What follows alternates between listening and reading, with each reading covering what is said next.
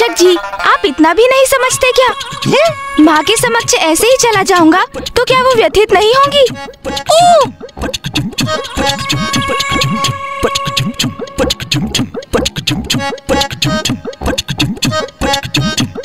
अपने उधर को बांधने के लिए कुछ तो करना चाहिए ना मुझे।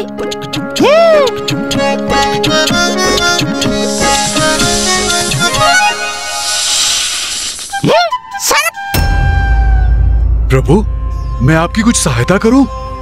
आप मुझे अपने उधर पर बाँध लीजिए। हाँ अवश्य। धन्यवाद।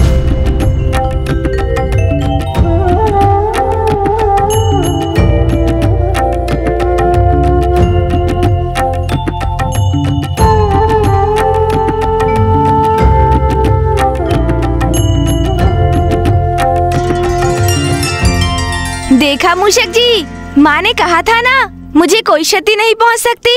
हाँ जीर्णम जीर्णम भोजनम जीर्णम गणेश जी कुशल है। अब सब कुछ यथावत हो गया।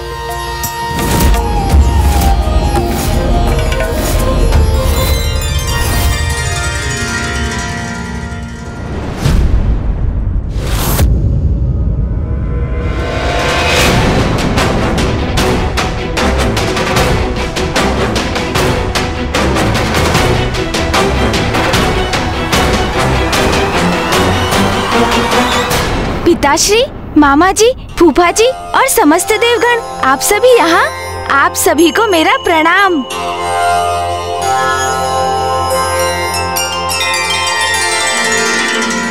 प्रतीत होता है, मुझे लौटने में बहुत विलंब हो गया।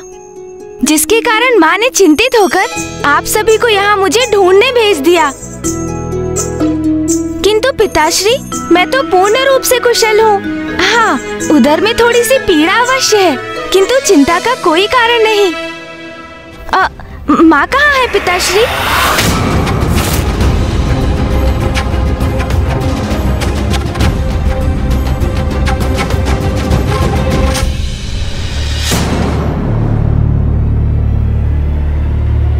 गणेश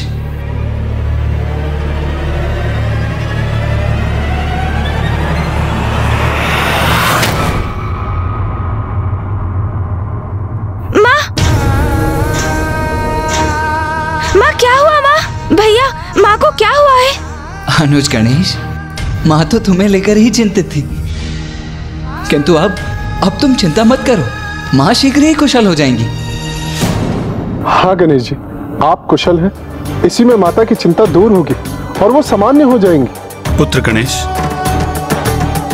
सूर्यदेव उचित कह रहे हैं। तुम चिंता मत करो। तुम्हें आहत देखकर देवी पार्वती मूर्छित हो गई थी। किंतु अब जब तुम सकुशल हो, देवी पार्वती भी स्वस्थ हो जाएँगी। माँ, देखिए ना माँ माँ, मैं पूर्ण रूप से कुशल हूँ माँ। मुझे क्षमा कर दीजिए माँ। मेरे कारण ही आपकी अवस्था हुई है माँ।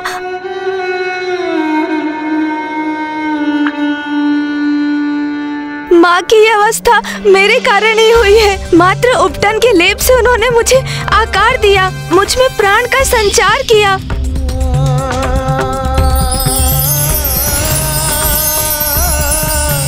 मेरा अस्तित्व तो उन्हीं से है, और मैंने क्या दिया उन्हें? दुख, पीड़ा और अश्रु? कितनी बार मेरे कारण रुदन करेंगी वो? सभी की मान्यता तो ये है कि संतान माता पिता के लिए आशीर्वाद के समान होती है। किंतु मैं मैं तो सदा उनके कष्ट का कारण ही बनता हूँ। कितना अयोग्य पुत्र हूँ मैं। माँ अपने गणेश को देखिए माँ नेत्र खोलिए।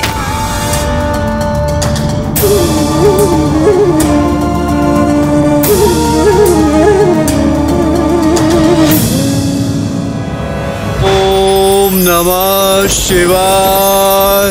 ओम नमः शिवाय। ओम नमः शिवाय। पुत्र भौम का तप तो और भी प्रचंड एवं उग्र होता जा रहा है। कहीं इसके उग्र तप से उत्पन्न ऊर्जा कैलाश पर कोई और संकट न उत्पन्न कर दे। ओम नमः शिवाय। अरे गणेश में ऐसा क्या विशेष है? मैं बनूँगा महादेव का परम प्रिय पुत्र। विवश कर दूँगा महादेव को कि वो मुझे अपने अति प्रिय पुत्र के रूप में स्वीकार करें। ऐसा कठोर तप करूँगा मैं।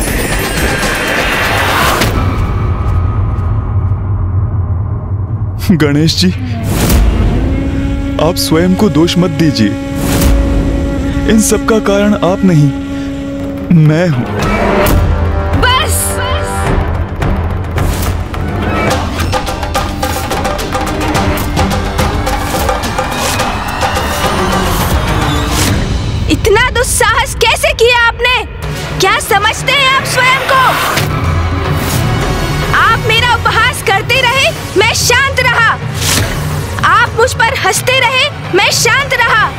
कितनी विचित्र आकृति है ना आपकी। विशाल काय गज का शीश। और उधर मानो अन्न का भंडार हो। किंतु अब देखिए देखिए, उस परिहास का परिणाम। देखिए माँ को, इसलिए अब शांत नहीं रहूँगा मैं। माँ की इस अवस्था के कारण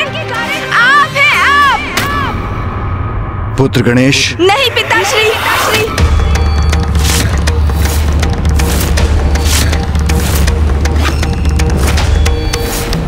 मुझे क्षमा कर दीजिए, किंतु ये मेरे और चंद्रदेव के मध्य की बात है। देखिए, चंद्रदेव, देखिए। माँ को देखिए।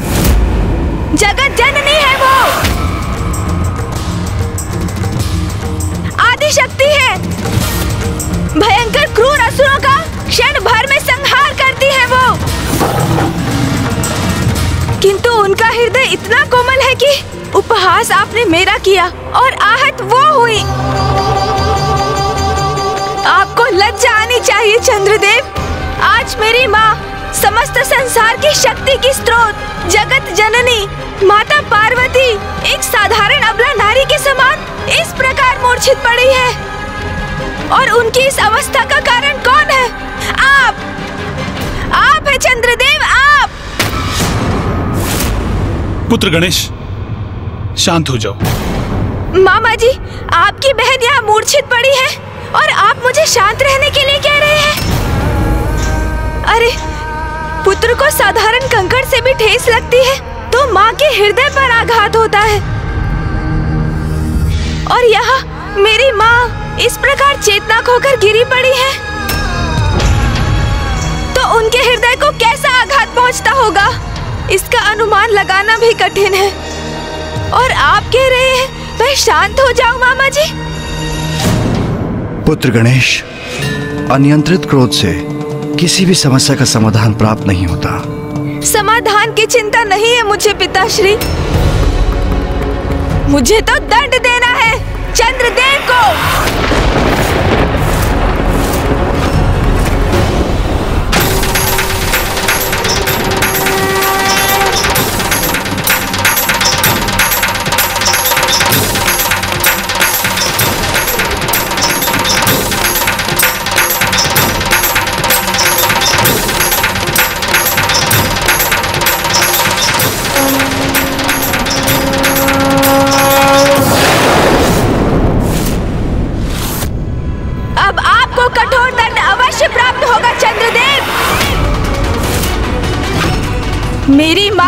कष्ट पहुँचाने वाला जीवित नहीं रह सकता। क्यों चंद्रदेव? अब क्या हुआ आपको? अब हँसी नहीं आ रही आपको? करिए ना, अब मेरा उपहास करिए। किंतु अब इसका अवसर आपको नहीं प्राप्त होगा।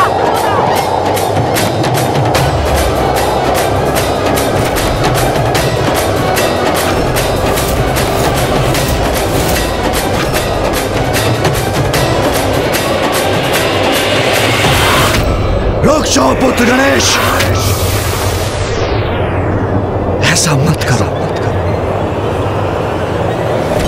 चंद्रमा तो प्रकृति के अनन्य भाग हैं। प्रकृति के संचार में उनका मुख्य योगदान है। उन्हें नष्ट नहीं कर सकते तुम पुत्र।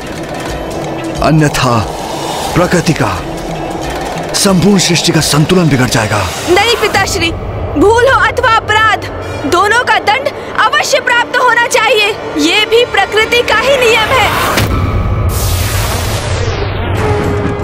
प्रथम पूज्य गणेश जी विघ्नहर्ता गणेश जी क्षमा कर दीजिए क्षमा कर दीजिए प्रभु।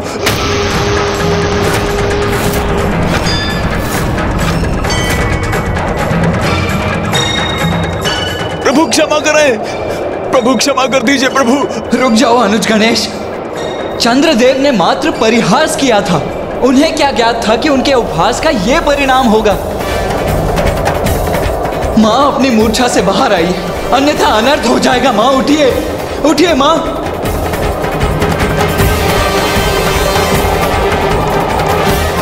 माँ, उठिए।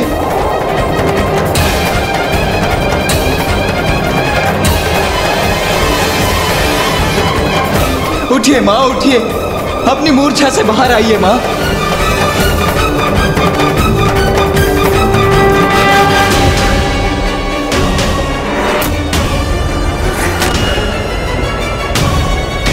पुत्र गणेश! पुत्र गणेश! माँ माँ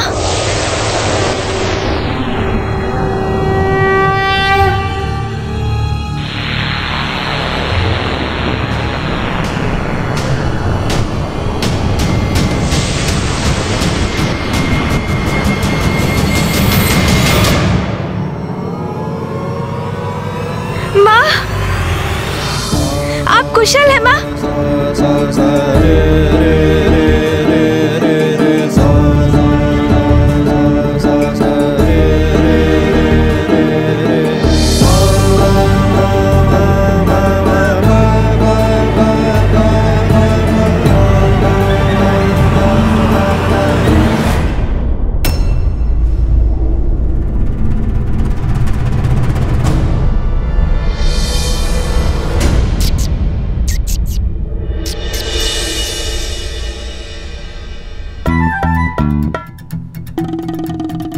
दुष्टता क्यों करते हो तुम? माँ।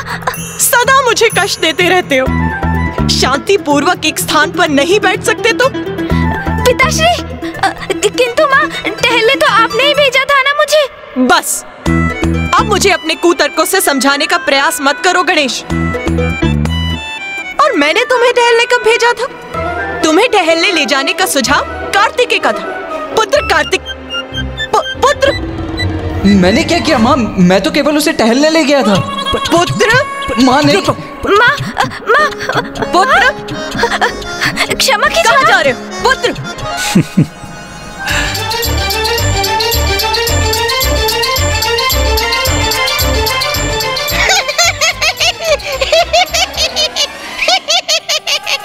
तुम क्या हंस रहे हो यहाँ?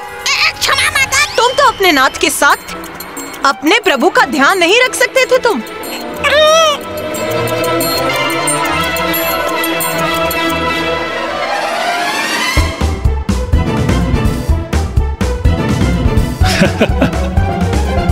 पुत्र माँ माँ माँ। पिताश्री प्रिय। आप तो दूर ही रहिए नाथ। सदा आप मेरे पुत्रों के मध्य आ जाते हैं।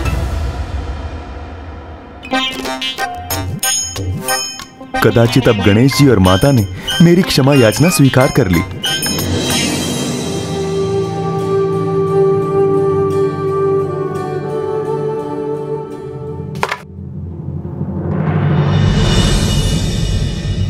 ये तो मेरा सौभाग्य है। मेरा पुत्र मेरा गणेश सर्वथा कुशल है।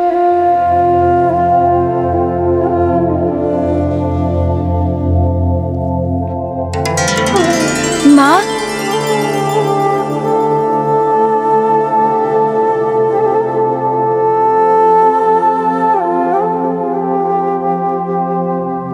ओ माँ जो समस्त सृष्टि का आधार है भला उसे कोई क्या क्षति पहुँचा सकता है?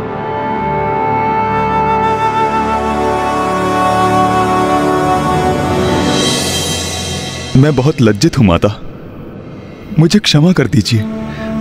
मुझे वास्तव में तनिक भी अनुमान नहीं था कि मेरा ये सरल परिहास गणेश जी के लिए इतना हानिकारक हो जाएगा। मैंने उपहास करने से स्वयं को रोकने का बहुत प्रयास किया।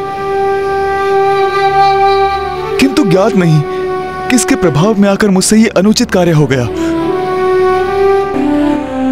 माता, मुझे क्षमा कीजिए। मैं भविष्य में कभी भी किसी के भोजन को लेकर कुछ नहीं कहूँगा। क्षमा कर दीजिए माता, क्षमा कर दीजिए। चंद्रदेव, सदा स्मरण रखिए, किसी के भी और विशेष रूप से किसी भी बालक के भोजन का परिहास कभी मत कीजिए।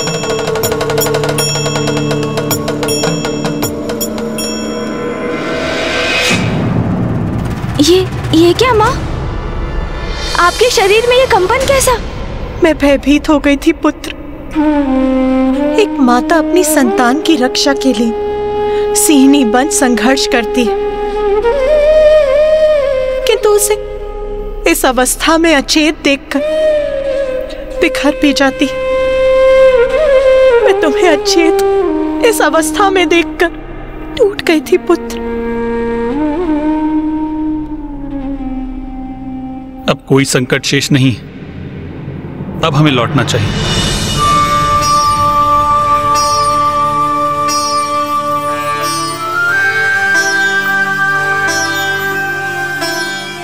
आप सबको कोटि कोटि धन्यवाद। आप सभी ने मुझे क्षमा कर दिया।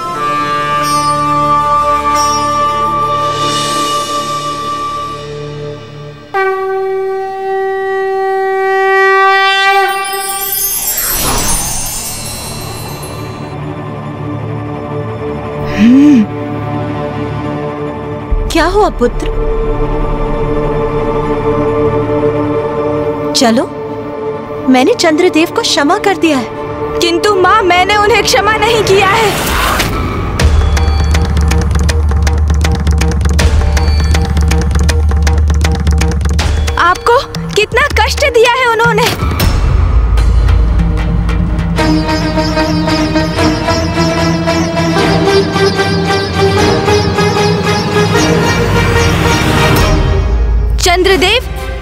स्वरूप आपके प्राण तो नहीं लूँगा किंतु आपको पूर्ण रूप से क्षमा भी नहीं करूँगा मैं।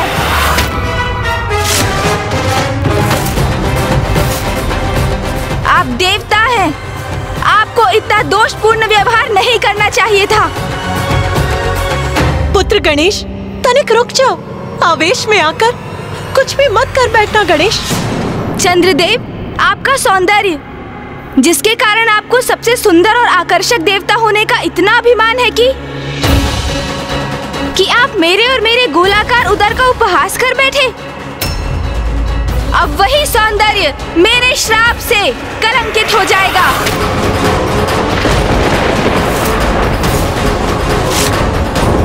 आपके इस मनोहर रूप पर जिसकी भी दृष्टि पड़ेगी, चंद्रदेव, वो कलंकित हो जाएगा।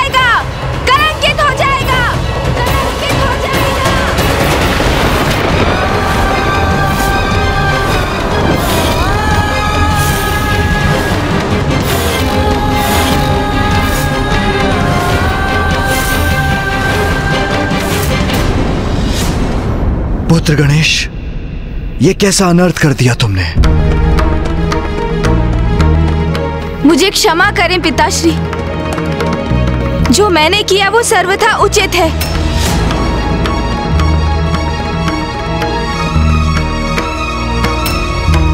माँ, जिन्होंने आपको कष्ट पहुँचाया, जिनके कारण आप मूर्छित अवस्था में गई थी, उन चंद्रदेव को अब दंड प्राप्त हो चुका है। अब लौट चलिए माँ।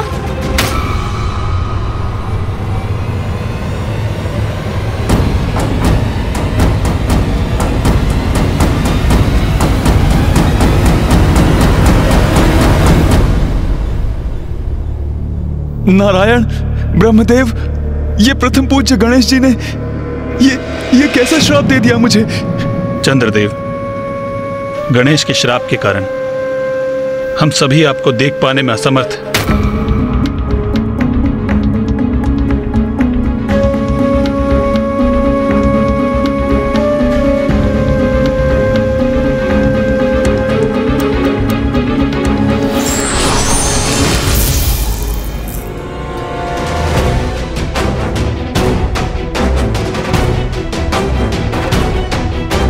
पिताश्री अब अब आपको ही कुछ कर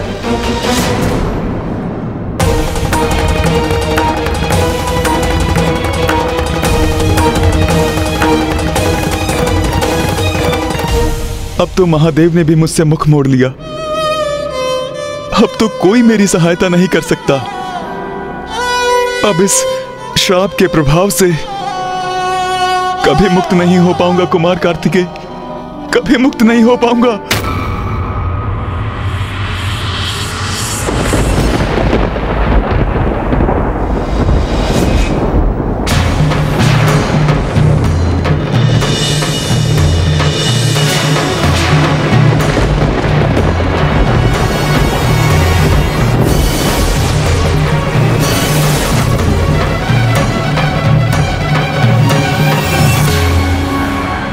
चंद्रदेव ने तो स्वयं को मेघों से ढक लिया है, जिससे कोई भी भूल से भी उन्हें न देख सके। किंतु इससे तो रात्रि अंधकारमयी हो गई है। यदि ऐसा ही रहा तो रात्रि में कोई कुछ नहीं देख सकेगा।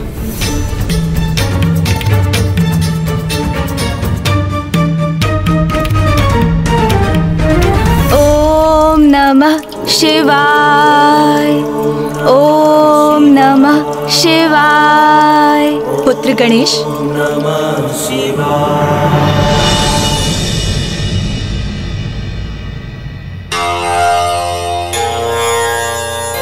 प्रणाम माँ।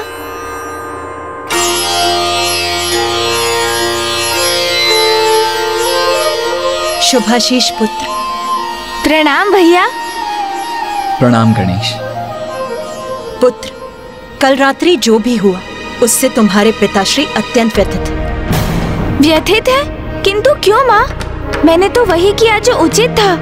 क्रोधावेश में आकर तुमने चंद्रदेव को श्राप जो दे दिया। मैंने चंद्रदेव को श्राप दिया क्योंकि उन्होंने अपने कृत्य से आपको दुख पहुँचाया माँ। क्या आपके पुत्र के द्वारा आपके सुख दुख का ध्यान रखना अनुचित है माँ? माँ आप चिंता मत कीजिए। मैं अभी जाके पिताश्री के समक्ष अपना पक्ष रखकर उनकी व्यथा दूर कर दूँगा।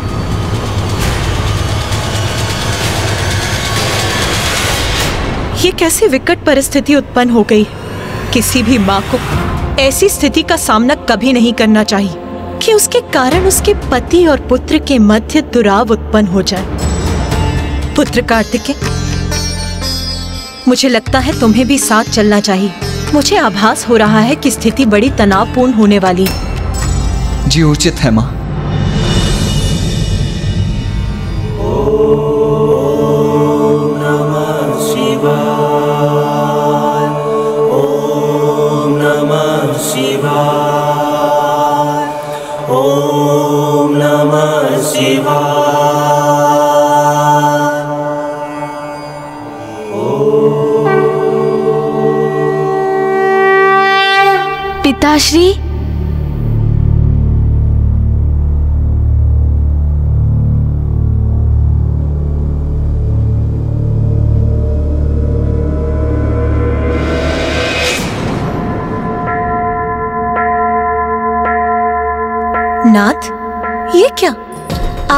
अपने नेत्र भी नहीं खोले, हमें देखा भी नहीं, और हमें अनदेखा कर अपना मुख मोड़ लिया। क्यों प्रभु? ऐसा क्यों किया आपने?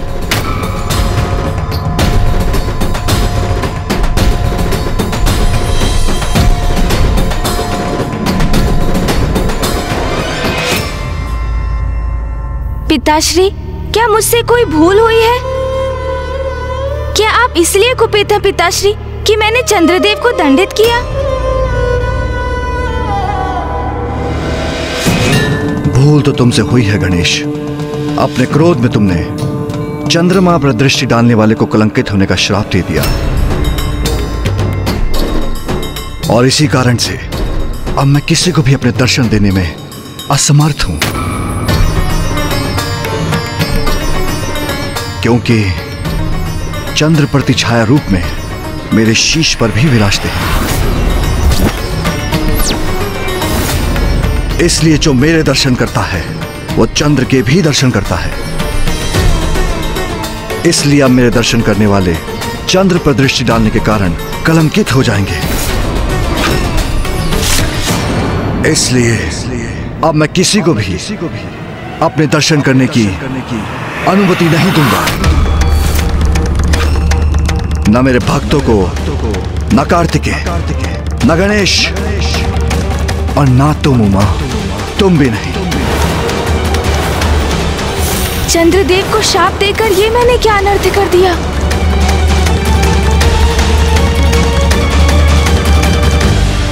नाथ, ये आप क्या कह रहे हैं? आपके दर्शन करे बिना मैं जीवित कैसे रहूँगी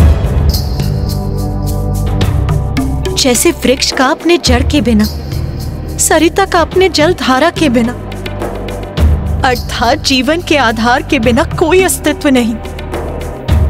उसी प्रकार, आप, जो मेरे जीवन के आधार हैं, मेरे सर्वस्व है, आप जिनके दर्शन से मेरे दिवस का आरंभ होता है और मेरे दिवस का अंत होता है, आप मेरे नाथ, आप स्वयं कह रहे हैं।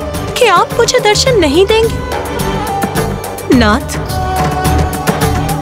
गणेश ने चंद्रदेव को जो श्राप दी, उसका दंड आप मुझे क्यों दे रहे हैं?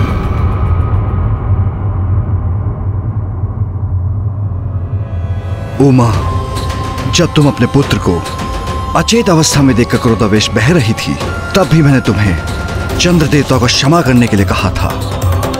हम जगत पिता और जगत जननी हैं। और अपने कर्तव्यों का निर्वाह करने हेतु अपने हृदय को कठोर कर हमारा अपनी भावनाओं को भी तिलांजलि देना आवश्यक है। यही बात मैं गणेश को समझाने का प्रयास कर रहा था। वो प्रथम पूज्य है। उसका क्रोध में अपना नियंत्रण खोना कदापि स्वीकार्य नहीं। और अब जब उसने मुझे अनसुना कर श्राप दे दिया तो हमें भी उसका परिणाम तो सहना ही पड़ेगा।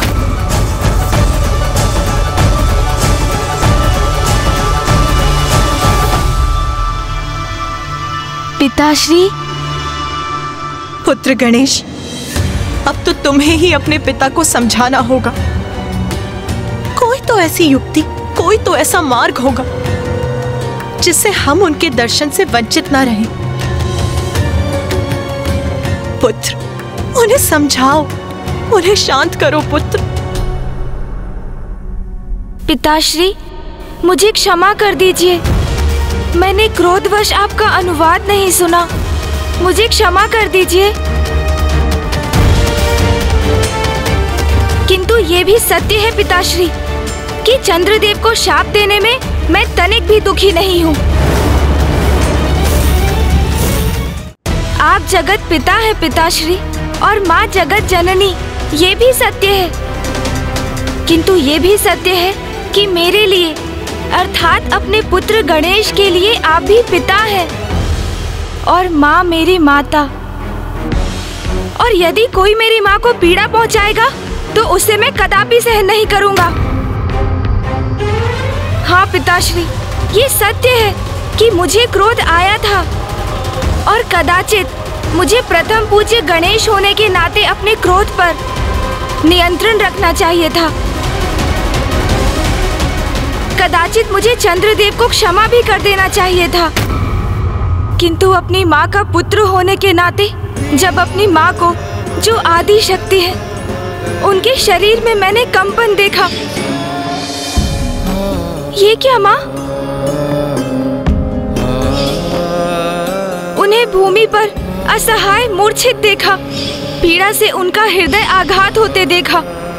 उनके अश्रु देखे। तो मैं स्वयं को कैसे रोकता पिताश्री?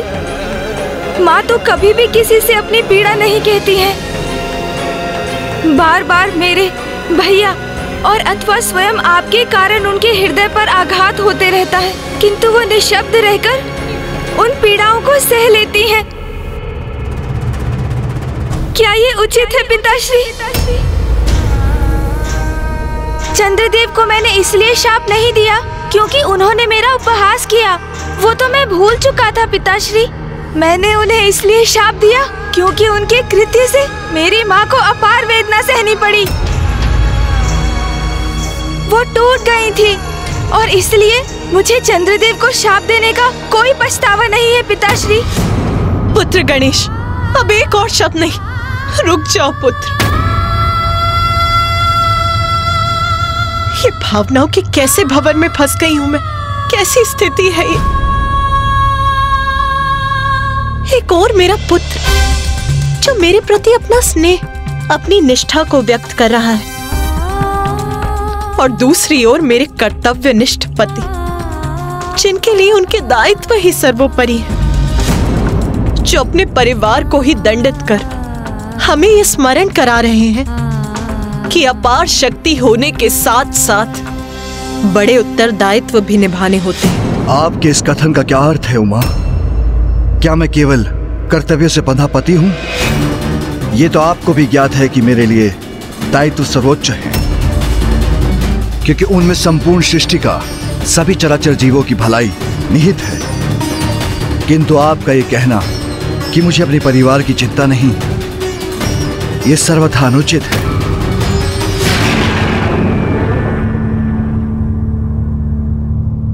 स्वामी यदि आपके लिए अपने परिवार का महत्व होता तो आप हमसे मुख क्यों मोड़ते? यही समझाने का प्रयास कर रहा हूँ मैं। मेरा आपसे गणेश से कार्तिक से विमुख होने का कारण है। मैं अपने परिवार की रक्षा करना चाहता हूँ। उसे कलंकित नहीं होने देना चाहता। प्रभु गणेश तो अभी एक बालक है। इसीलिए जो कुछ भी हुआ, वो मेरे कारण हुआ। गणेश का उसकी माँ के प्रति स्नेह के कारण हुआ है। और एक बालक का उसके माँ के प्रति स्नेह कोई अपराध तो नहीं है, प्रभु। इसीलिए प्रभु, अपने परिवार को दंडित मत कीजिए। अपने भक्तों को दंडित मत कीजिए।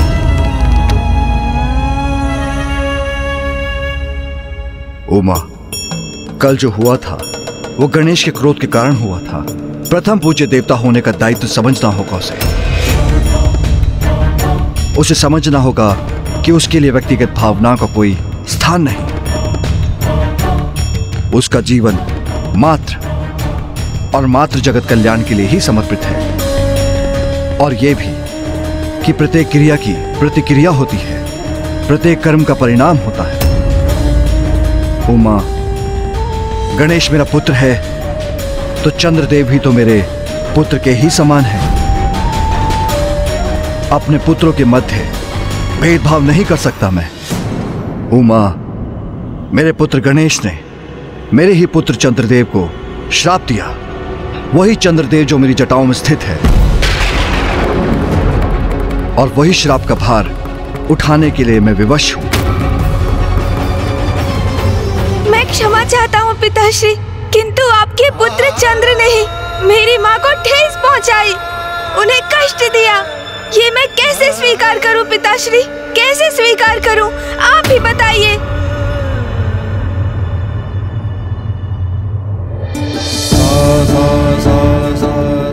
जो एक पुत्र को लगा, उसने किया।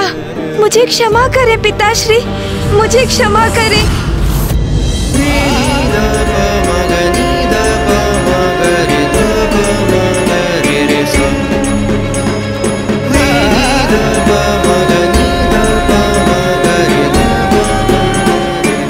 गणेश कुछ भी सुनने और समझने को तैयार क्यों नहीं हो रहा है?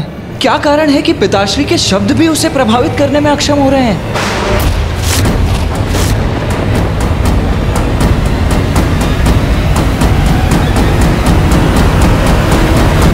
मैं क्षमा चाहता हूँ, पिताश्री, किंतु आपके पुत्र चंद्र ने मेरी माँ को ठेस पहुँचाई, उन्हें कष्ट दिया।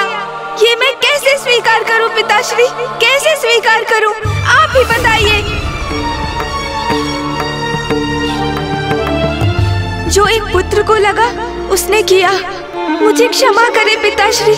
मुझे क्षमा करे।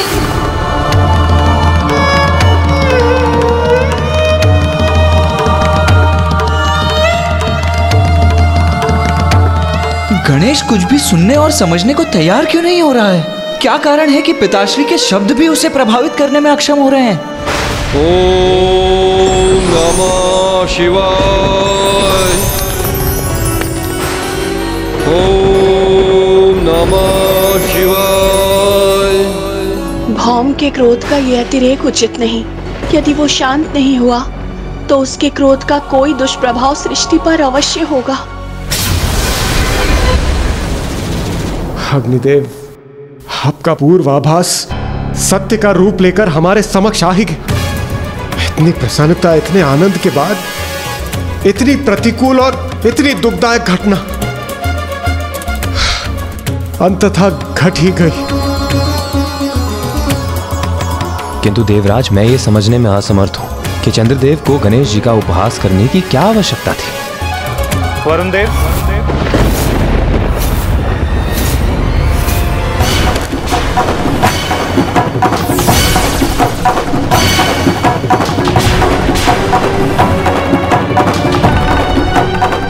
ये तो मैं भी समझ नहीं पा रहा।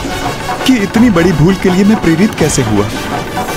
आपके इस मनोहर रूप पर जिसकी भी दृष्टि पड़ेगी चंद्रदेव वो कलंकित हो जाएगा। कलंकित हो जाएगा।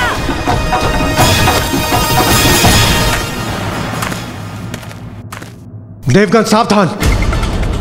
गणेश जी का श्राप स्मरण रहे।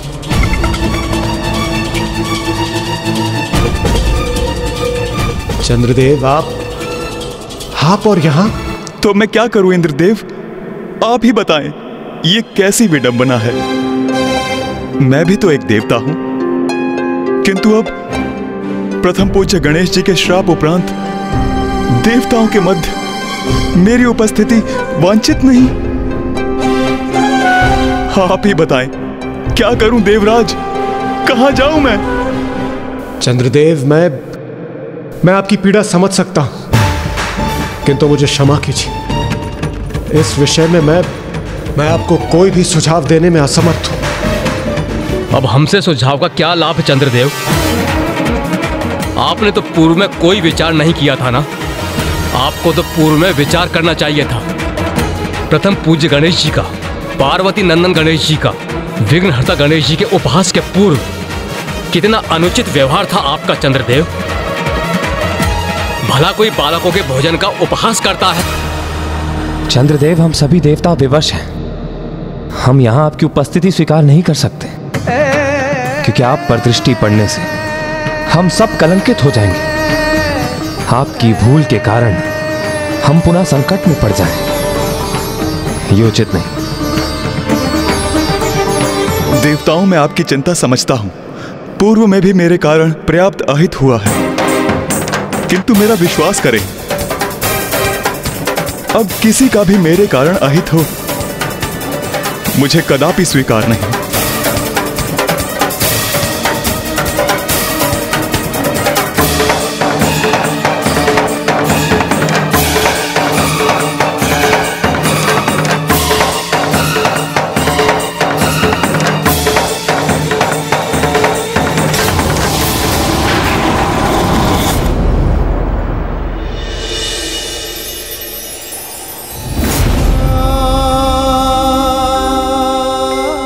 ये मैंने स्वयं को कैसे संकट में डाल दिया है? जिनसे मुझे स्नेह है, उन्हीं के लिए अहितकर हो गया हूँ मैं।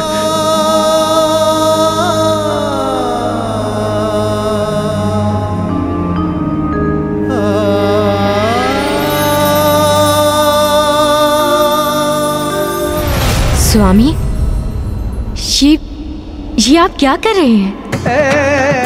आपने मुझे देखकर मुख क्यों मोड़ लिया?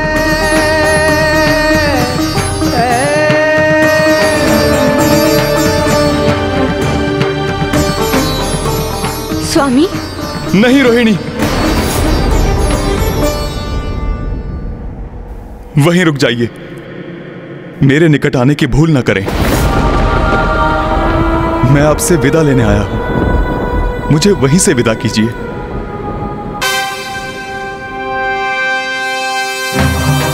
नाथ, आपके शब्द मेरे मन में अनेकों आशंकाएँ उत्पन्न कर रहे हैं। आप बताइए ना मुझे। क्या हुआ है स्वामी? मैं श्रापित हो गया हूँ रोहिणी। श्रापित हो गया हूँ रोहिणी। मुझसे मुझसे बहुत बड़ी भूल हो गई जिसके परिणाम स्वरूप गणेश जी ने मुझे श्राप दिया। है आपके इस मनोहर रूप पर जिसकी भी दृष्टि पड़ेगी चंद्रदेव वो कलंकित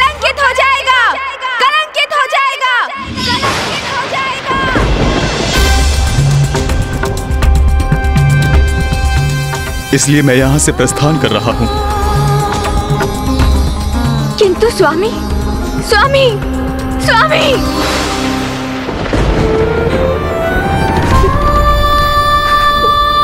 शिक, शिक, कैसा अनर्थ हो गया?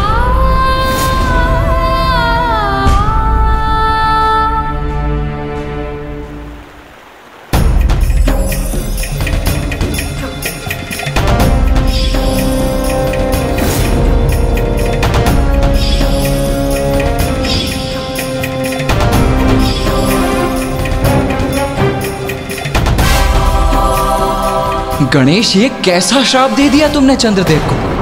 भैया आप मुझसे ही प्रश्न कर रहे हैं। किंतु क्या मैं आपसे एक प्रश्न पूछ सकता हूँ? हाँ अनुज अवश्य पूछ सकते हो। तो बताइए भैया यदि आप मेरे स्थान पर होते यदि आप माँ को पृथ्वी पर अचेत अवस्था में देखते और आपको ये ज्ञात होता कि उनकी इस अवस्था के कारण आप आपके प्रति उनका अगाध स्नेह है आपके हित की चिंता है और उसी कारण हमारी माँ को इतना अपार कष्ट हुआ है। और जब आपको ज्ञात होता कि उस अवस्था को उत्पन्न कराने वाला दोषी कौन है तो क्या आप उसे क्षमा कर देते? बताइए मुझे। क्या करते आप भैया? मेरी माँ को कष्ट पहुँचाने वाले दोषी को मैं अवश्य कठोर से कठोर दंड देता, गणेश। तो मैंने जो किया, वो भी उचित था ना भैया? मैं सर्वथा निर्दोष हूँ। तुम सर्वथा उचित कह रहे हो, गणेश। किंतु पिताश्री भी तो अनुचित नहीं कह रहे हैं। उनका कथन भी तो सर्वथा उचित है। वास्तविकता में उचित और अनुचित कुछ होता ही नहीं है। ये तो परिस्थिति है जो दो मित्रों को, परिजनों को, दो सकारात्मक शक्तियों को भी परस्पर विरोधी बना देती है। और अब तुम्हारे श्राप के प्रभाव से वो और भी कष्ट का कारण बनेंगे। अपने परिवार के साथ साथ समस्त सृष्टि के अहित का कारण बनेंगे वो।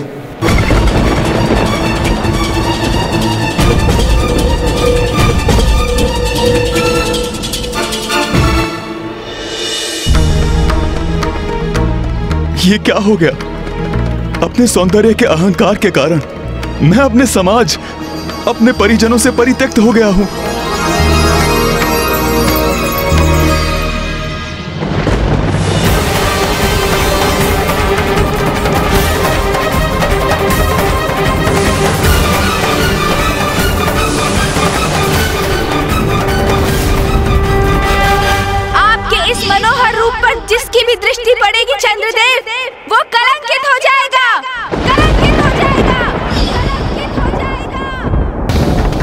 ये पुष्प मेरे कारण मुरझा गए।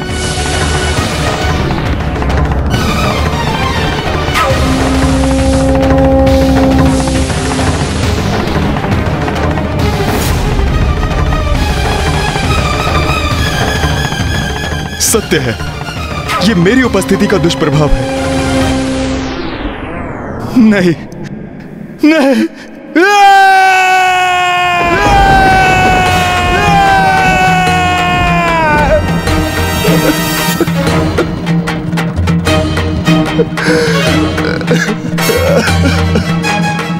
कुछ भी मेरे समक्ष है। वे सब मेरे कारण ही कलंकित हो रहे हैं। ये सर्वथा अनुचित है। इतना बड़ा कलंक मैं स्वयं पर नहीं ले सकता। नहीं ले सकता मैं। अब तो मैं किसी को भी अपना मुख नहीं दिखा सकता। क्यों? क्यों किया मैंने ऐसा? प्रथम पूज्य विघ्नहर्ता श्री गणेश के साथ ऐसा अनुचित आचरण क्यों किया मैंने? अब अपने इस दोषपूर्ण आचरण के कारण मैं सभी के लिए अदर्शनीय, वर्णहीन और अत्यंत मलिन हो गया हूँ।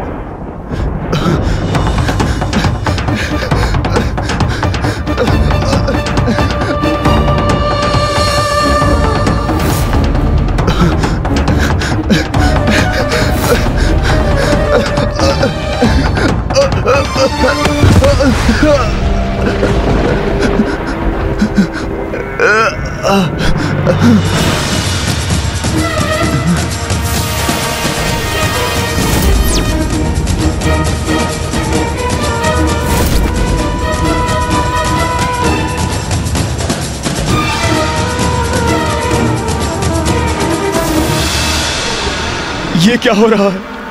ये कैसी काली मचा रही है? नहीं, अब मैं किसी को अपना मुख नहीं दिखाऊँगा और ना ही किसी के कलंकित होने का कारण बनूँगा। मैं सदा के लिए इस जलकुंड में छिप जाता हूँ और इसके भीतर मुझे कोई देख नहीं सकेगा।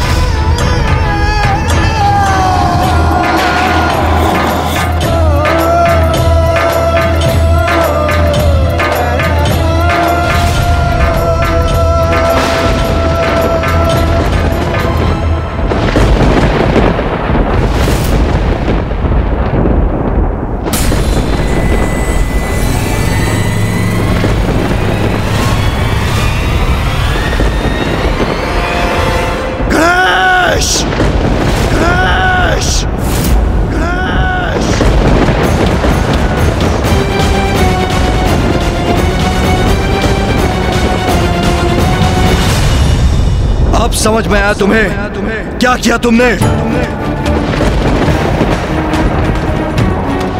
मैं मैं तो माँ के साथ था पिताश्री। मैंने कुछ भी तो नहीं किया है। गणेश। पिताश्री प्रतीत होता है चंद्रदेव अपना स्थान छोड़कर कहीं और प्रस्थान कर गए हैं। ये तो सर्वथा उचित है। अति उत्तम है भैया। पिताश्री चंद्रदेव के आपके शीश पर उपस्थित ना रहने से उनकी कांति खो देने से हम बिना कलंकित हुए आपके दर्शन करने के लिए मुक्त है। हमारी समस्या का समाधान तो स्वतः ही हो गया। हमारा परिवार अब पुनः कुशल है। ये गणेश को क्या हुआ? सदा अन्य सभी की चिंता करने वाला मेरा पुत्र अचानक इतना कठोर कैसे हो गया? पुत्र जो तुम कर चुके हो उसके प्रभाव के बारे में एक बार गहनता से मंथन करो। जाओ पुत्र।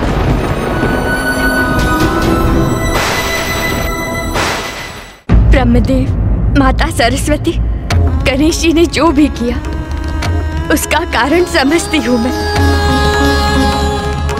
मेरे स्वामी चंद्रदेव ने भूलवश माता पार्वती को कष्ट पहुँचाया। किंतु स्वामी सभी की दृष्टि से ओझल हो गए अब तो उन्हें गए भी कई दिवस गुजर चुके हैं। किसी को भी ज्ञात नहीं है कि वो कहाँ है। देवी रोहिणी, गणेश के लिए उसके माता पिता ही सर्वोच्च हैं। तो गणेश, जो अन्यथा निष्कपट और सरल और कोमल हृदय बालक है, अपनी माता को कष्ट में देखकर उसका क्रोध जागृत होना भी स्वाभाविक है। प्रभु, मैं केवल अपने स्वामी के लिए विनती करने यहाँ प्रस्तुत नहीं हुई हूँ। तनिक विचार कीजिए। चंद्रदेव से रिक्त संपूर्ण सृष्टि असंतुलित हो जाएगी। संपूर्ण प्रकृति पर, सभी जीवों पर, स्वामी की अनुपस्थिति का भयंकर और विनाशकारी प्रभाव होगा प्रभु। अब आप ही हम सभी की रक्षा का और सृष्टि के हित का कोई उपाय सुझाइए प्रभु। कोई उपाय सुझाइए।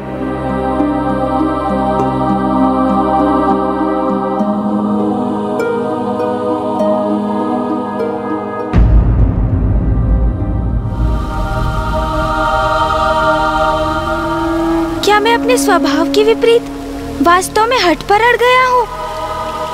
और ये जो मुझे बार बार क्रोध का आभास हो रहा है, इसका कारण क्या है?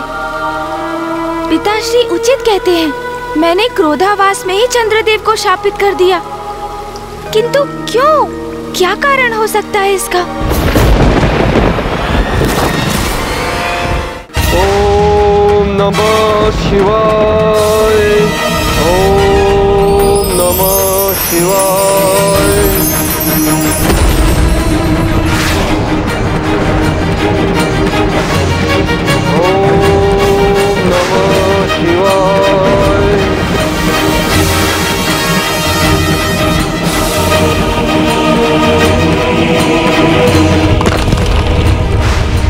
यहाँ भौम के तप के कारण उसके शरीर से उत्पन्न हुई उग्र ऊर्जा में निरंतर वृद्धि हो रही है।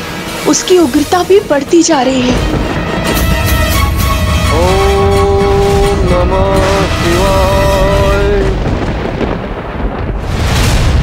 पिताश्री मुझे समझ में आ गया है कि ये मेरे भीतर क्रोध स्वाभाविक नहीं है। आप देवादि देव महादेव हैं। सभी का मार्गदर्शन करते हैं आप। आप ही मेरे इस क्रोध को शांत करने के लिए मेरी सहायता कीजिए।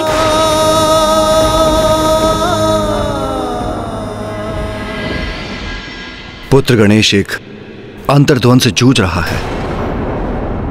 पुत्र कार्तिकेय, तुम जाओ, उससे संवाद करो, उसे उचित मार्ग दिखाओ।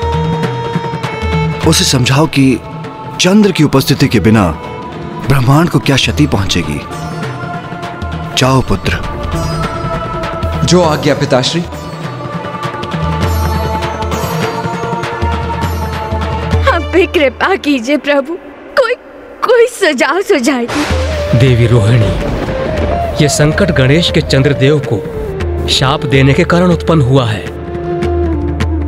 और यदि कोई ये संकट हर सकता है तो वो गणेश ही है। कल ही कृष्ण पक्ष की चतुर्थी है।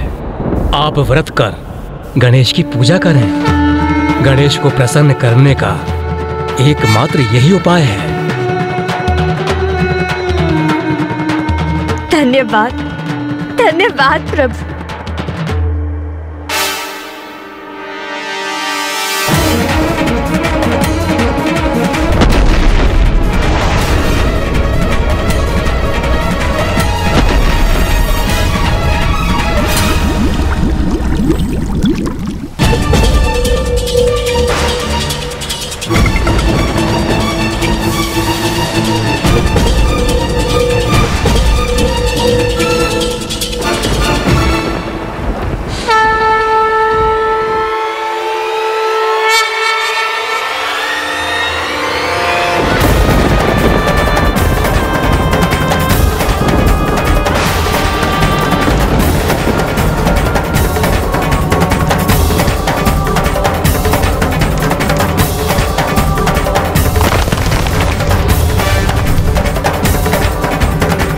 देखा अनुज गणेश?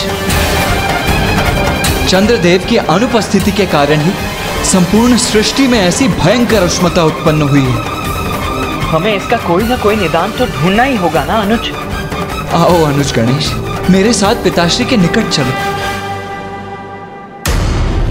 अब इस परिस्थिति से हमें मुक्त कराने का कोई उचित सुझाव देकर वही हमारा मार्गदर्शन कर सकते हैं अनुज। हाँ भैया मैं पिताश्री की शरण में जाऊँगा। चंद्रदेव को ढूँढने के लिए मेरा मार्गदर्शन करने का अनुरोध करूँगा।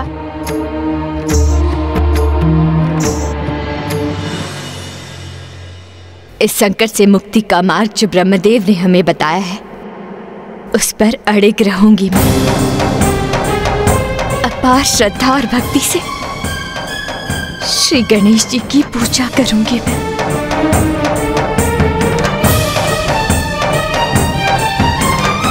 देवी रोहिणी, प्रथम पूज्य गणेश जी को प्रसन्न करने हेतु हम सब देवता भी इस पूजा में आपके साथ सम्मिलित होंगे।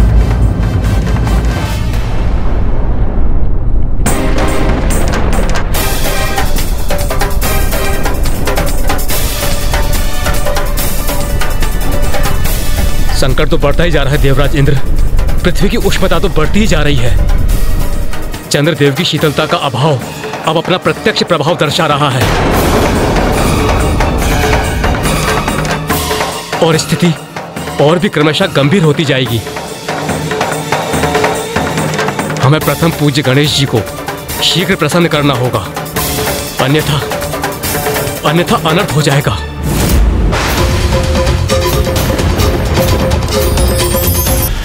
संकट तो बढ़ता ही जा रहा है, देवराज इंद्र। पृथ्वी की उष्णता तो बढ़ती ही जा रही है। चंद्रदेव की शीतलता का अभाव अब अपना प्रत्यक्ष प्रभाव दर्शा रहा है। और स्थिति और भी क्रमशः गंभीर होती जाएगी। देवगन स्मरण रहे। ब्रह्मदेव के दिए सुझाव अनुसार हम सब यहाँ प्रथम पूज्य गणेश जी को प्रसन्न करने हेतु उपस्थित हुए इसलिए परिस्थिति कितनी भी विकट क्यों न हो, हमें अपनी पूरी श्रद्धा के साथ प्रथम पूज्य गणेश जी की पूजा में ही लीन रहना होगा। और किसी भी कारणवश अपनी एकाग्रता को कदापि भंग नहीं होने देना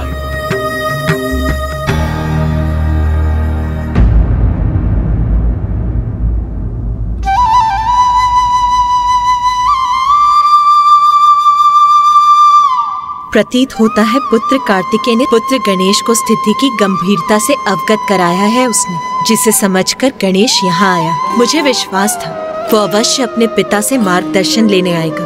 पिताश्री इस समस्या का समाधान ढूँढने के लिए हमारा मार्गदर्शन कीजिए।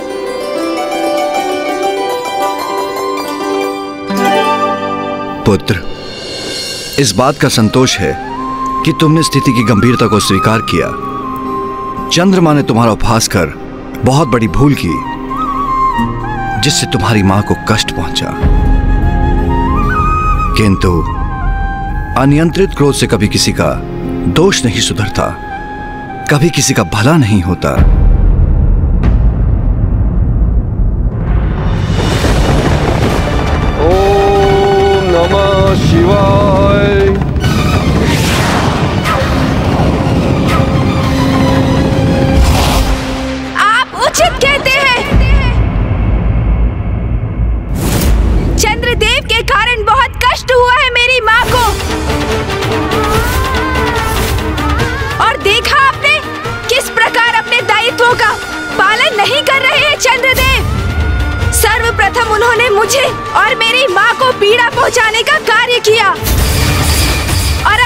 प्रकार सभी की दृष्टि से ओझल होकर समस्त सृष्टि को कष्ट पहुँचा रहे हैं।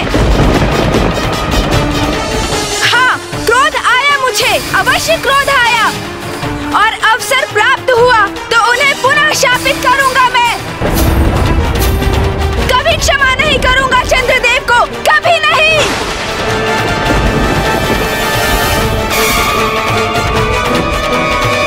गणेश? पुत्र रुको। रुको पुत्र। गणेश इतना क्रोधपूर्ण व्यवहार क्यों कर रहा है? ये ये हो क्या गया है गणेश को? उमा अभी इसे जाने दीजिए। अभी वो कुछ भी समझने की अवस्था में नहीं है। समझ में तो मेरी भी नहीं आ रहा है पिताश्री की। गणेश को ये हो क्या गया है? अभी कुछ समय पूर्व ही तो मुझसे कह रहा था कि चंद्रदेव को लौटाने के लिए वो पिताश्री से मार्गदर्शन लेगा। फिर अचानक ये ये क्रोधावेश का क्या कारण है? यदि मेरा पुत्र अपने क्रोध को अपने वश में नहीं कर पा रहा है तो अवश्य ही उसका कोई बड़ा कारण होगा। क्योंकि अकारण क्रोध तो गणेश के स्वभाव में ही नहीं। हाँ माँ। मैं आपसे पूर्णतः सहमत हूँ। गणेश के स्वभाव से तो हम सभी भली भांति परिचित हैं। फिर उसके उसके क्रोध का क्या मूल हो सकता है? चंद्रदेव को मैंने इसलिए शाप नहीं दिया क्योंकि उन्होंने मेरा उपहास किया। मैंने उन्हें इसलिए शाप दिया। क्योंकि उनके कृत्य से मेरी माँ को अपार वेदना सहनी पड़ी और इसलिए मुझे चंद्रदेव को शाप देने का कोई पछतावा नहीं है, पिताश्री। पुत्र, मैं मैं हूँ उसके क्रोध के मूल में। मैं उसकी माँ। नाथ, मैंने जब भी गणेश को किसी क्रोध अथवा आहत में देखा तब मैं स्वयं पर किसी भी प्रकार का नियंत्रण रखने में असमर्थ हो गई। मैं अपने क्रोधावेश में सर्वथा विनाश करने के लिए प्रेरित रहती। ये स्नेह एक माँ का अपने पुत्र के प्रति। जब मैं गणेश को पीड़ा में देख अपने क्रोध पर नियंत्रण खो सकती हूँ तो गणेश तो मात्र एक बालक है। हम उससे आत्मनियंत्रण की अपेक्षा क्यों कर रहे हैं नाथ ओ माँ क्योंकि वो प्रथम पूज्य गणेश है। और मैं जगत जननी आदि शक्ति हूँ, नाथ। नाथ, आप इस संपूर्ण घटनाक्रम पुत्र गणेश की दृष्टि से देखने में संकोच क्यों कर रहे हैं, नाथ? नाथ, आप ये क्यों नहीं समझना चाहते कि गणेश का क्रोध उसकी माँ के रक्षा के भाव का ही परिणाम है? आज जब गणेश अपना मत आपके समक्ष रखने आया तो आपने कहा कि चंद्रदेव से जो कुछ भी हुआ, उसके परिणाम से वो अनभिघ्न है। तो क्या ये कहना अनुचित है कि गणेश ने जो कुछ भी किया, उसके परिणाम से वो भी अनभिज्ञ थे? आपका झुकाव आपके एक पुत्र की ओर ही क्यों है? आपको गणेश को समझने का भी प्रयास करना चाहिए। ये मत भूलिए नाथ, जब हमारे तथाकथित पुत्र चंद्रदेव ने मेरे हृदय को आहत किया तब गणेश ने ही मेरा बचाव किया। आपको क्या ये स्पष्ट नहीं है नाथ उमा ब्रह्मांड को संतुलन में लाना मेरा कर्तव्य है। जो गणेश के कृत्य के कारण संकट में है। नहीं नाथ सृष्टि का संतुलन संकट में अवश्य है। किंतु गणेश और चंद्रदेव दोनों के कृत्यों के कारण। नाथ, मेरी विनती है आपसे। जो उचित है वही कीजिए। उसी से गणेश का क्रोध भी शांत होगा।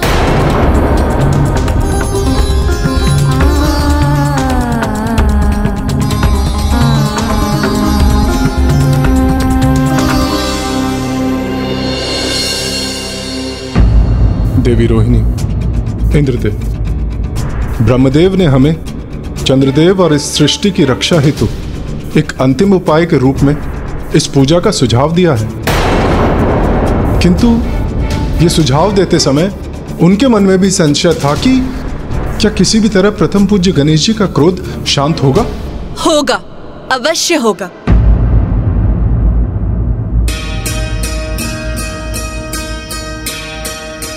क्यों नहीं होगा?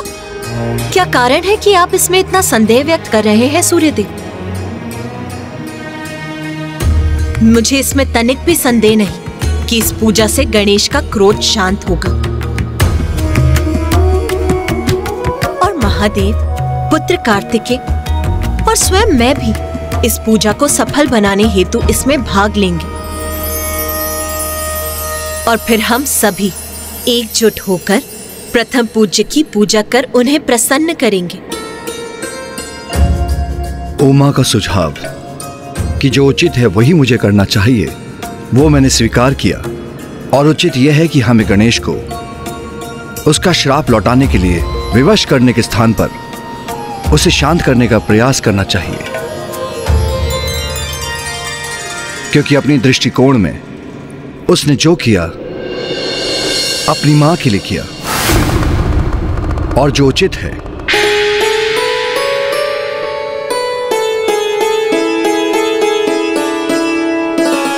पूजा के लिए हम सभी को व्रत संकल्प धारण कर गणेश की पार्थिव श्री विग्रह की रचना करनी होगी।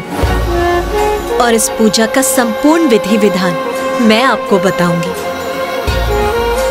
और इस प्रकार हम सब एकजुट होकर पूर्ण भक्ति से गणेश की पूजा करेंगे।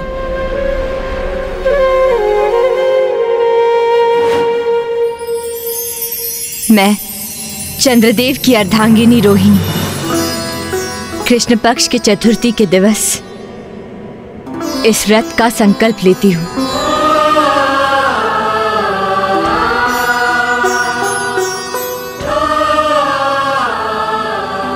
मैं देवराज इंद्र प्रथम पूज्य गणेश जी का क्रोध शांत करने और सृष्टि की रक्षा करने हेतु समस्त देवताओं के साथ इस पूजा का संकल्प लेता हूँ।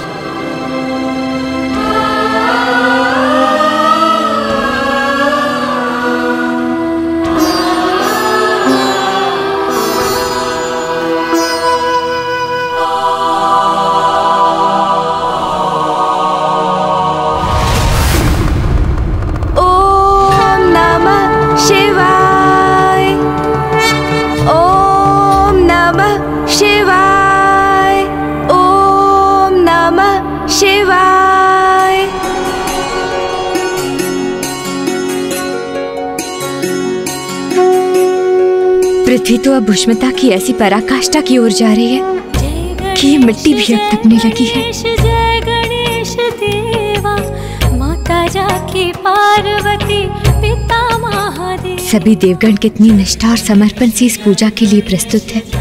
मुझे विश्वास है हम सभी अपनी भक्ति से गणेश जी को प्रसन्न करने में अवश्य सफल होंगे। बल और बुद्धि से सिंदूरा संघारा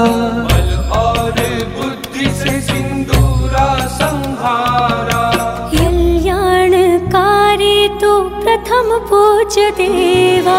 जय गणेश जय गणेश जय गणेश देवा माता जाकी पार्वती महादेवा जय गणेश जय गणेश जय गणेश देवा पिताश्री, देखिए, गणेश का पार्थिव स्वरूप, अर्थात उसकी मूर्ति की रचना हो गई है। अब तो मात्र उसके नेत्र ही गणने शेष हैं। मेरे पुत्र के नेत्र में स्वयं गढ़ूँगी। एक माँ जो अपने पुत्र के नेत्रों में अपने लिए अपार प्रेम देखती, वो भला उन नेत्रों को कैसे भूल सकती? उसकी छवि तो एक माँ के हृदय में सदैव के लिए अंकित हो जाती।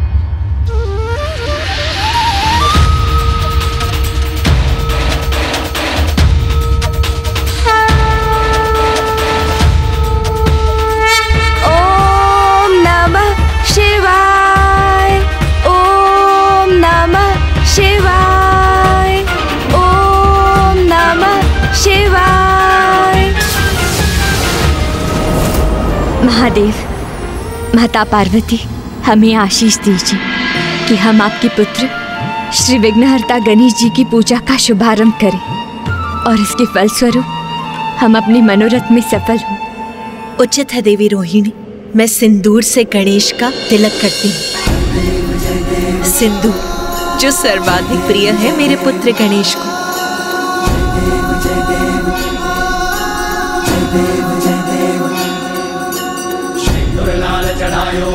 गज मुख को दो दिन लाल विराजे सुध गौरी हर को चलिए गुड़ लड्डू साई सुर भर को महिमा कहे न जाए लागत हो पद को जय देव ओम गण गणपते नमः ओम गण गणपते नमः ओम नमः शिवाय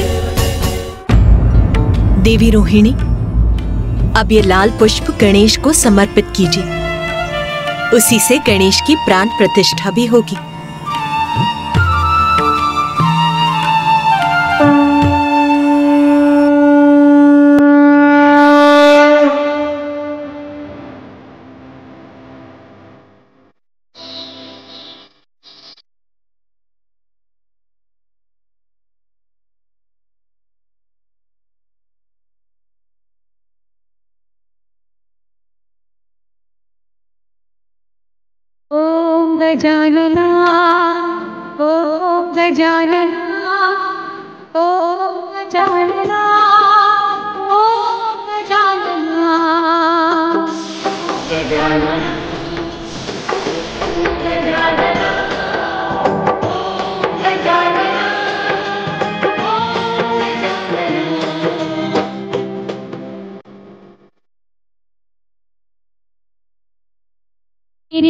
गणपति बेड़ा पार करो। रस भक्ति का हर बार भरो। मन मंदिर पार हो जाए, मुझ मेरे गणपति बेड़ा पार करो। ओम गजानना ओम गजानना ओम गजानना।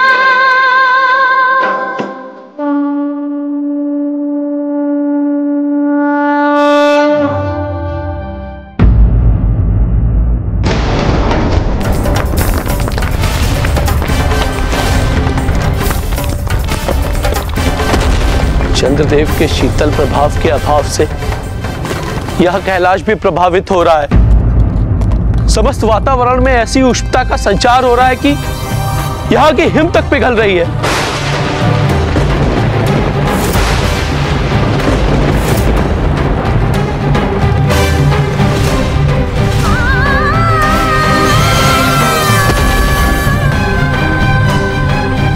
नंदिनी अरे इतना दाल तो तलवत से बिना आती बिना तो होता है था हाँ तो जी अब गणेश जी की कृपा से ही हमारी और समस्त संसार की सुरक्षा निहित है।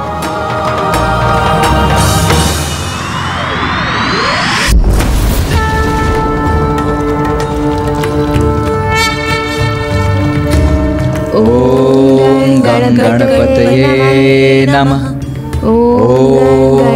गणपतये नमः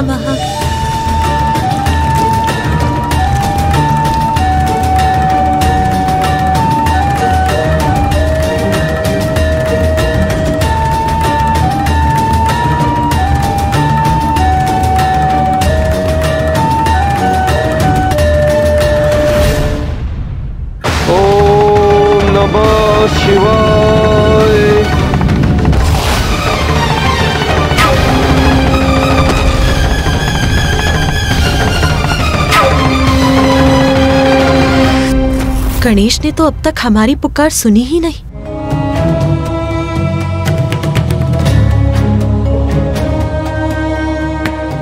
चंद्रदेव की शीतलता तो मेरी उष्मता को संतुलित करती है, किंतु अब उनकी शीतल किरणों के अभाव में मेरा ताप तो बढ़ता ही जा रहा है।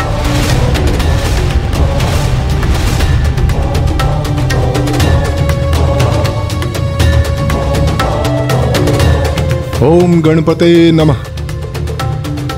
ओम गण गणपते नमः।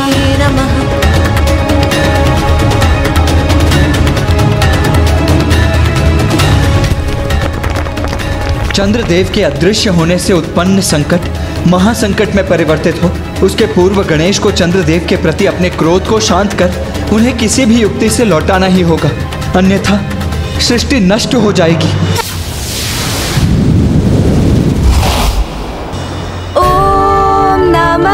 नमः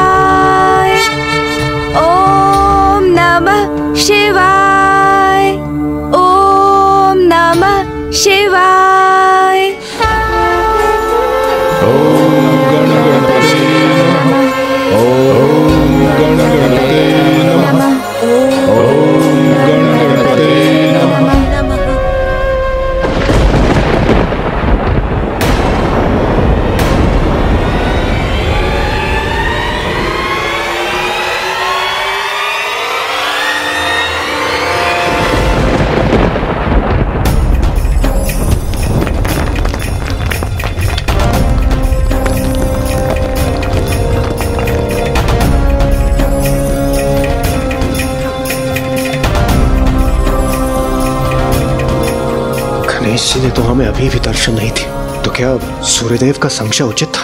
कहीं गणेश जी का क्रोध हमारी इस पूजा से भी शांत ना हुआ तो? ओम नमः शिवाय। ओम नमः शिवाय। ओम नमः शिवाय।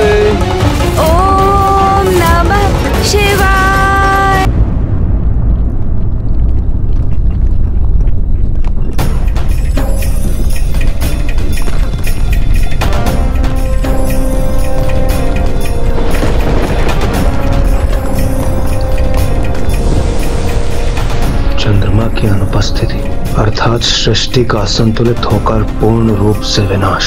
अब केवल गणेश जी ही हमें इस संकट से उभार सकते हैं। ओम गं गणपतये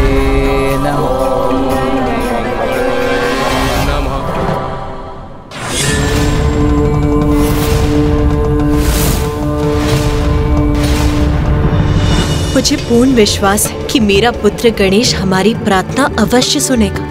वो शीघ्र हमें दर्शन देगा।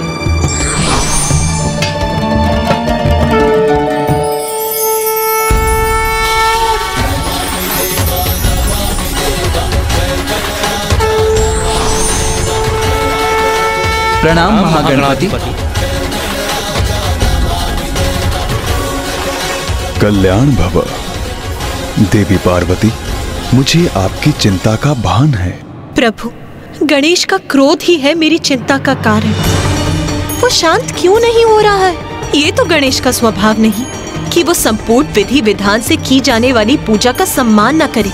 क्या हमसे पूजा करने में कोई भूल हुई है प्रभु? अब तो आप ही हमारा मार्गदर्शन कीजिए श्री महागणपति जी। आप सभी से पूजा में कोई भूल चूक नहीं हुई है देवी पार्वती महादेव किंतु मेरा एक सुझाव है। आप गणेश के श्री विग्रह को दुर्वा समर्पित कीजिए। दुर्वा? दुर्वा क्यों श्री महागणपति जी? उचित समय आने पर आप सभी को इसका भी ज्ञान हो जाएगा कि दुर्वा गणेश को इतनी प्यारी क्यों है।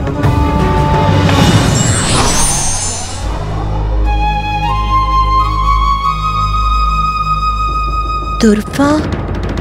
मैं अभी दुर्वा प्रस्तुत करता हूँ माँ। उचित है पुत्र।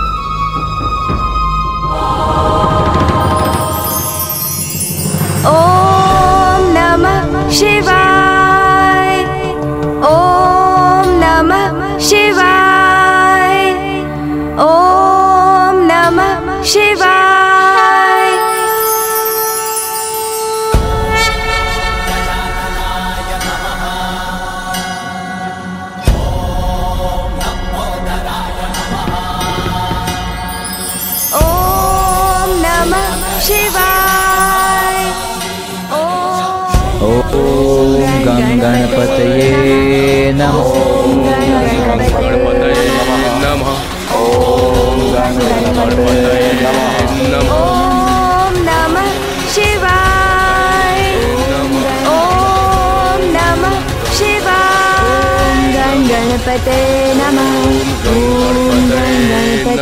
नमः।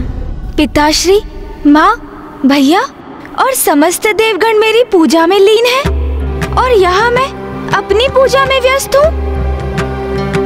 नहीं, मेरा कर्तव्य और दायित्व तो जगत कल्याण के प्रति है। मैं अभी जाकर देवताओं की सहायता के लिए प्रस्तुत होता हूँ। भैया, पिताश्री, माँ इनको मैं कदापि निराश नहीं कर सकता। मेरे क्रोध के कारण पूर्व में भी बहुत हानि पहुँच चुकी है। इसलिए अब अपने क्रोध को त्यागूँगा मैं।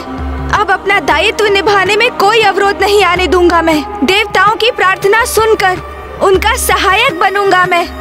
ओम नमः शिवाय। कहा मेरे प्रभु महादेव?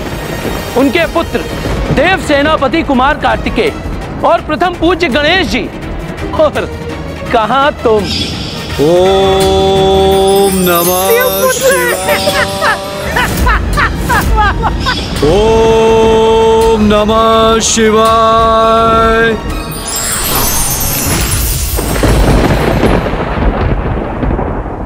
कितनी विचित्र आकृति है ना आपकी?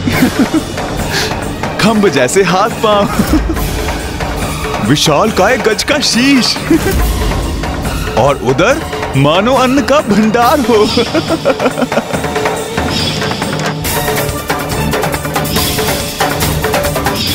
देवताओं का क्या है? वो तो मात्र चंद्रदेव को शाप मुक्त कराने का अनुरोध करेंगे मुझसे, क्योंकि वो भी देवता है। किंतु यदि चंद्रदेव ने उनमें से किसी की भी पत्नी अथवा माता को अपमानित किया होता तो क्या वो उन्हें क्षमा कर देते? नहीं, कदापि नहीं। तो मैं उन्हें क्यों क्षमा करूँ? क्यों क्षमा करूँ मैं उन्हें? अरे, मैंने पूजा मध्य में ही छोड़ दी। ओम नमः शिवाय।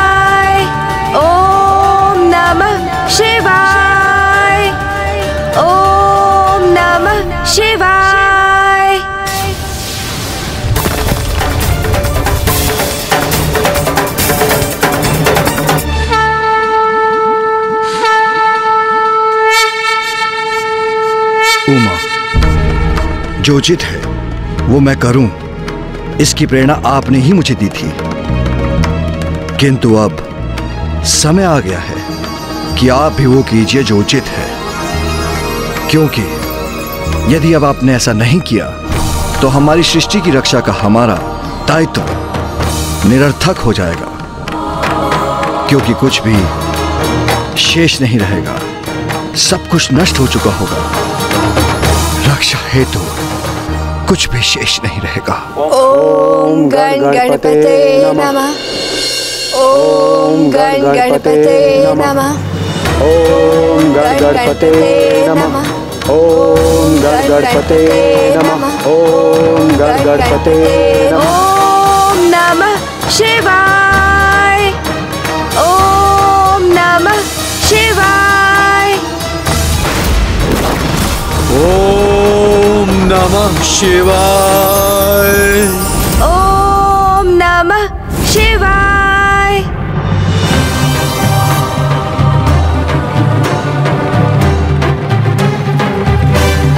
प्रणाम माता।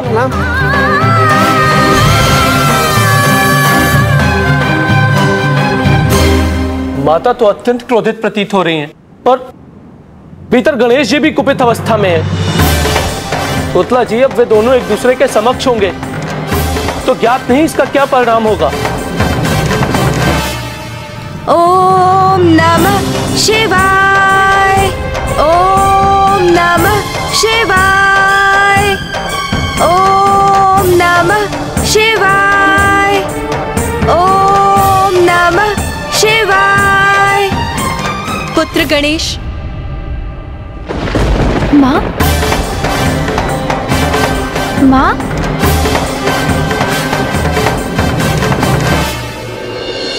क्या हुआ माँ? आप इतने तनाव में क्यों प्रतीत हो रही हैं? पुत्र ये हो क्या रहा है? क्या हुआ है तुम्हें? तुम क्या कर रहे हो पुत्र? मुझे क्या होगा माँ? मैं तो पिताश्री की पूजा कर रहा हूँ। पुत्र सभी देवताओं में सबसे उदार हो तुम सबसे दयालु हो। फिर इस बार इतना हट क्यों? इतने कठोर क्यों हो रहे हो तुम?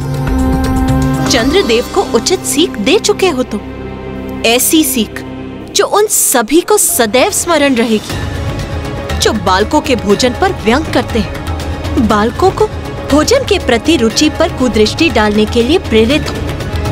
फिर भी अपने क्रोध पर क्यों टिके हो तुम? माँ, चंद्रदेव को दंडित करने का कारण तो आप हैं। उन्होंने आपको कष्ट देने का अपराध किया था। तो क्या ऐसा करके तुम्हें मेरे प्रति अपने स्नेह को प्रमाणित करने की आवश्यकता है पुत्र? नहीं माँ। तो फिर क्या तुम प्रतिशोध की भावना से प्रेरित हो?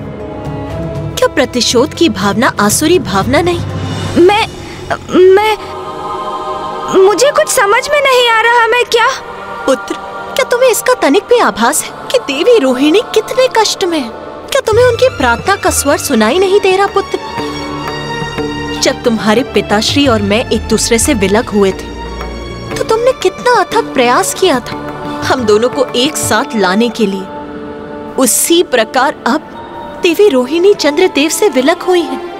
तो क्या तुम उनकी पीड़ा की कल्पना भी नहीं कर पा रहे हो, पुत्र? क्या तुम ये भी देख पाने में असमर्थ हो कि स्वयं जगत पिता महादेव तुम्हारे पिता तुम्हारी पूजा कर रहे हैं? क्या तुम इससे भी प्रभावित नहीं हो, पुत्र? नहीं माँ। मैं अत्यंत प्रभावित हूँ। किंतु किंतु क्या पुत्र? जिस माँ के लिए तुमने स्वयं चंद्रदेव को दंडित किया वो तुम्हारी प्रार्थना कर तुम्हारी गुहार लगा रही है। ओम गंगणपते नमो। गंगणपतये नमः। ओम गंगणपतये नमः।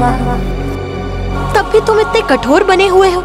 चंद्रदेव को क्षमा करने में असमर्थ हूँ। नहीं माँ मैं उन्हें क्षमा करना तो चाहता हूँ किंतु तुम्हारी क्षमाशीलता के कारण ही पुत्र तुम प्रथम पूज्य के पद पर स्थापित हुए हो। मेरा विश्वास कीजिए माँ मैं उन्हें क्षमा करना चाहता हूँ। किंतु अकस्मात मैं पुनः आवेशित हो जाता हूँ। तुमने और तुम्हारे पिताश्री ने मुझे विकट स्थिति में डाल दिया है। तुम्हारे पक्ष में। मैंने उनसे जो भी कहा, उसे स्वीकार कर उन्होंने वही किया जो उचित। तुम्हारी प्रार्थना कर रहे हैं वो पुत्र। इसीलिए अब तुम भी वही करो पुत्र, जो उचित है। क्योंकि तुम्हारे कृत से तुम किसी का दोष नहीं सुधार रहे अपितु हट कर रहे हो पुत्र। और तुम्हारे हट से सबको पीड़ा पहुँच रही है। संपूर्ण सृष्टि संकट में आ रही है, जो मैं कदापि होने नहीं दूँगी पुत्र। माँ सृष्टि को तो मैं भी संकट में नहीं डालना चाहता हूँ। मैंने सभी की प्रार्थनाएँ सुनी थी और मैं वहाँ प्रकट भी होने जा रहा था। किंतु फिर ज्ञात नहीं, अकस्मात कैसे क्रोध का एक प्रवाह उत्पन्न हुआ मेरे भीतर?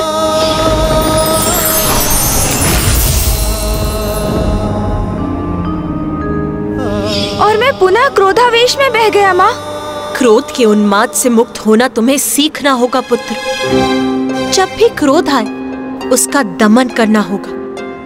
क्योंकि जब भी तुम्हें क्रोध प्रभावित करेगा, अपनी तर्क शक्ति से उस पर विचार करो पुत्र। अपने भीतर के क्रोध का अवलोकन करो पुत्र। तो जैसे श्याम मेघ, वर्षा के उपरांत स्वतः मिट जाता है और आकाश में धवल प्रकाश उत्पन्न होता है। वैसे ही तुम्हारा भी क्रोध मिट जाएगा पुत्र। आओ, चलो पुत्र।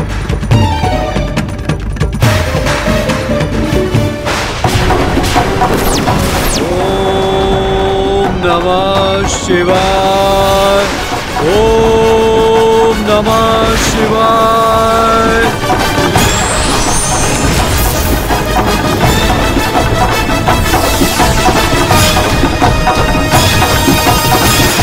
ओम नमः शिवाय। क्रोध के उन्माद से मुक्त होना तुम्हें सीखना होगा, पुत्र। जब भी क्रोध आए उसका दमन करना होगा।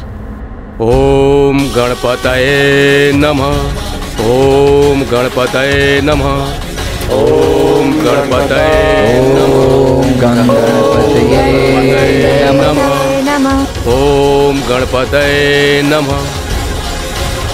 मैं पुनः क्रोधित हो रहा हूँ किंतु इस क्रोध का कोई लाभ नहीं। वो कारण समाप्त हो चुका है वो परिस्थिति बीत चुकी है। तो क्या अभी मेरा क्रोधित होना उचित है? इस प्रश्न का उत्तर तो स्पष्ट है। नहीं।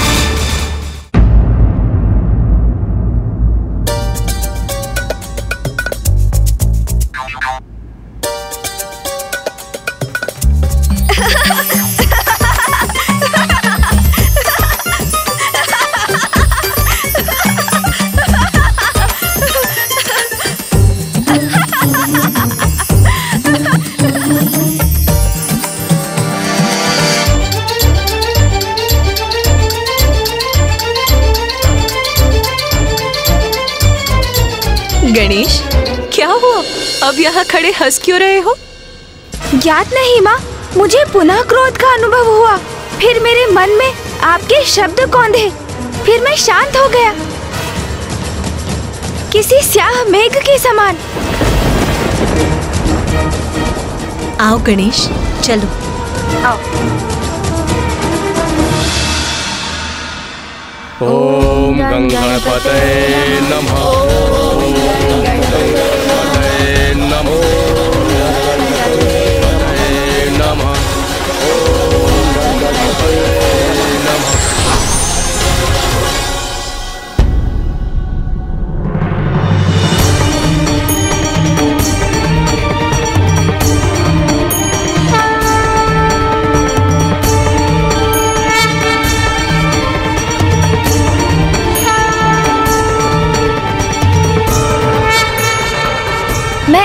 सभी की पूजा से प्रसन्न हुआ।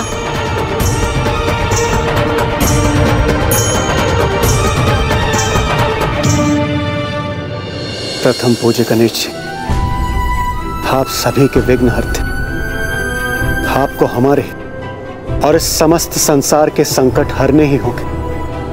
हरने ही होंगे प्रभु। गणेश जी आपने जो मेरे स्वामी चंद्रदेव को शाप दिया है उसे निरस्त करने की कृपा कीजिए। मैं क्षमा चाहता हूँ, किंतु ऐसा करना तो मेरे लिए भी संभव नहीं।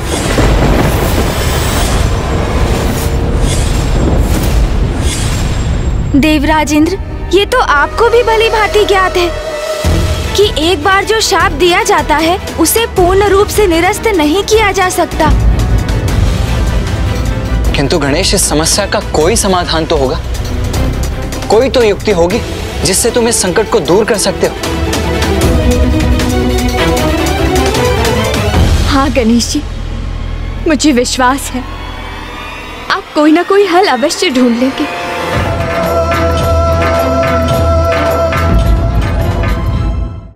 आप सर्वथा उचित कहती हैं, माता। शरणागत की रक्षा करना तो भगवान का कर्तव्य है। तो लौटाया नहीं जा सकता, किंतु मैं उसके प्रभाव को कम कर सकता हूँ।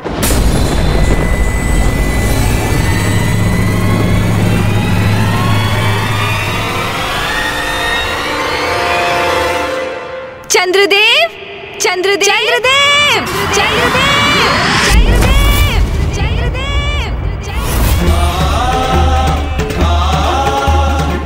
गणेश जी पुनः पुकार रहे हैं, किंतु नहीं। मैं यहीं छिपा रहूँगा। कदाचित वो वहाँ बुलाकर मुझे और दंडित ना कर दें। चंद्रदेव आप जहाँ भी है वहाँ से बाहर आइए। मैं आपको आश्वस्त करता हूँ आपके प्रति अब मेरा क्रोध शांत हो चुका है। गणेश जी मुझसे क्रोधित थे। क्या क्या उन्होंने मुझे क्षमा कर दिया?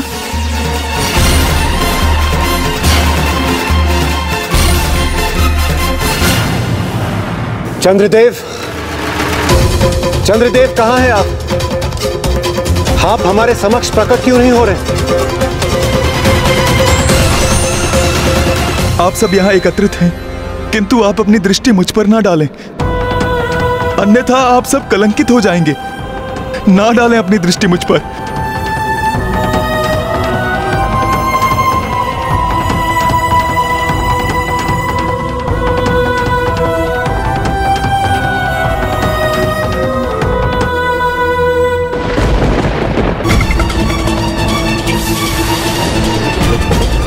उठिए, चंद्रदेव।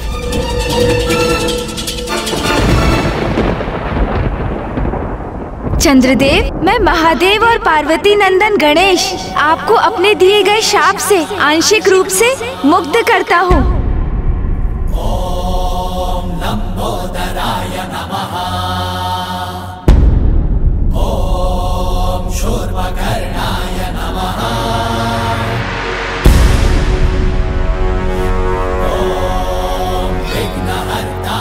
चंद्रदेव अब संसार के लिए पुनः दर्शनीय हो जाएँगे।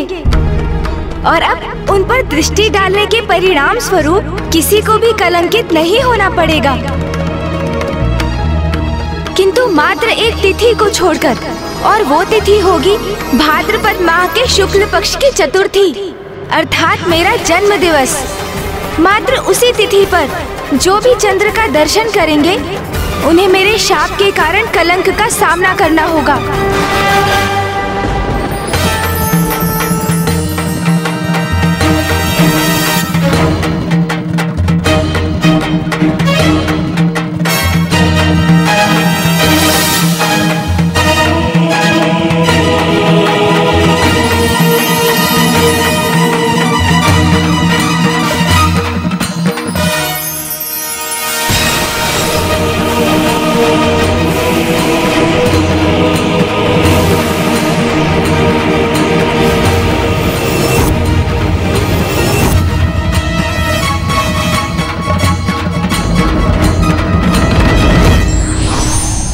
मुझे क्षमा करें प्रभु। मैं अत्यंत अहंकारी हो गया था। चंद्रदेव मुझे भी स्वयं से प्रेम है। किंतु अपनी सराहना करना और स्वयं पर गर्व करने में एक बहुत छोटा सा भेद है और वो भेद है अहंकार। मैं समझ गया प्रभु। अब मैं इस प्रकार की भूल कदापि नहीं करूँगा। मुझे क्षमा करें।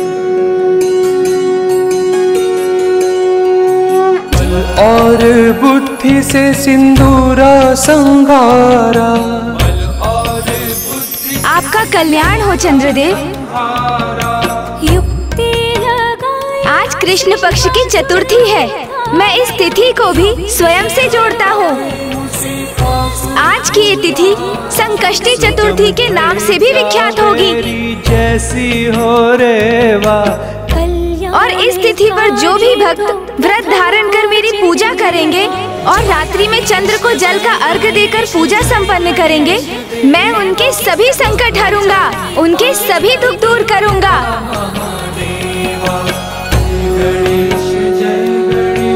स्मरण रहे संकष्टी चतुर्थी का ये व्रत और पूजा चंद्र के दर्शन कर उनकी आरती के उपरांत ही संपन्न होंगे।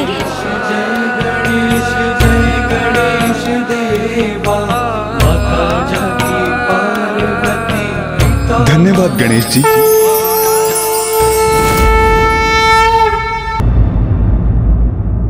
मैं कृतार्थ हुआ, प्रभु। आपने न केवल मुझे श्राप मुक्त किया, अपितु अपने साथ साथ पूजनीय बना दिया। आपकी जय हो, प्रभु। आपकी जय हो। मैं गणेश, संसार के लिए आज ये विधान करता हूँ कि मेरा जन्म दिवस भाद्रपद की शुक्ल चतुर्थी, अर्थात गणेश चतुर्थी को जो भी मेरी पूजा करेगा, मैं अपनी पूजा के परिणाम स्वरूप भक्तों को वर प्रदान करूँगा। और कृष्ण पक्ष की चतुर्थी, अर्थात संकष्टी चतुर्थी की पूजा के फल स्वरूप मैं उनके संकट हरूँगा। और हाँ संकष्टी चतुर्थी की पूजा हेतु चंद्र की भी पूजा अनिवार्य होगी।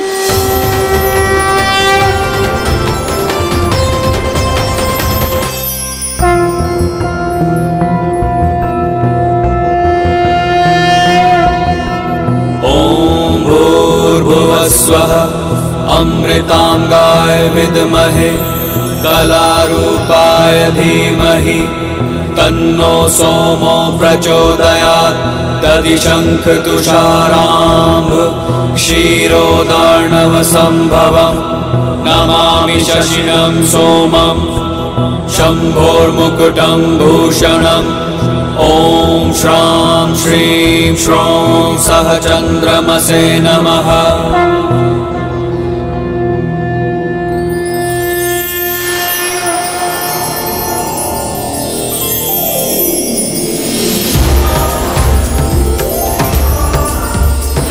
ॐ नमः शिवाय। शिवाय। ओम नमः शिवाय।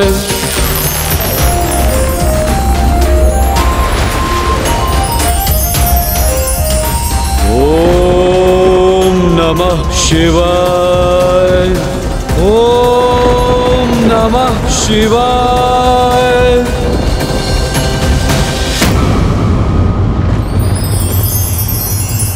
मेरी त्वचा पर ये शीतलता का अनुभव क्यों कर रहा हूँ मैं?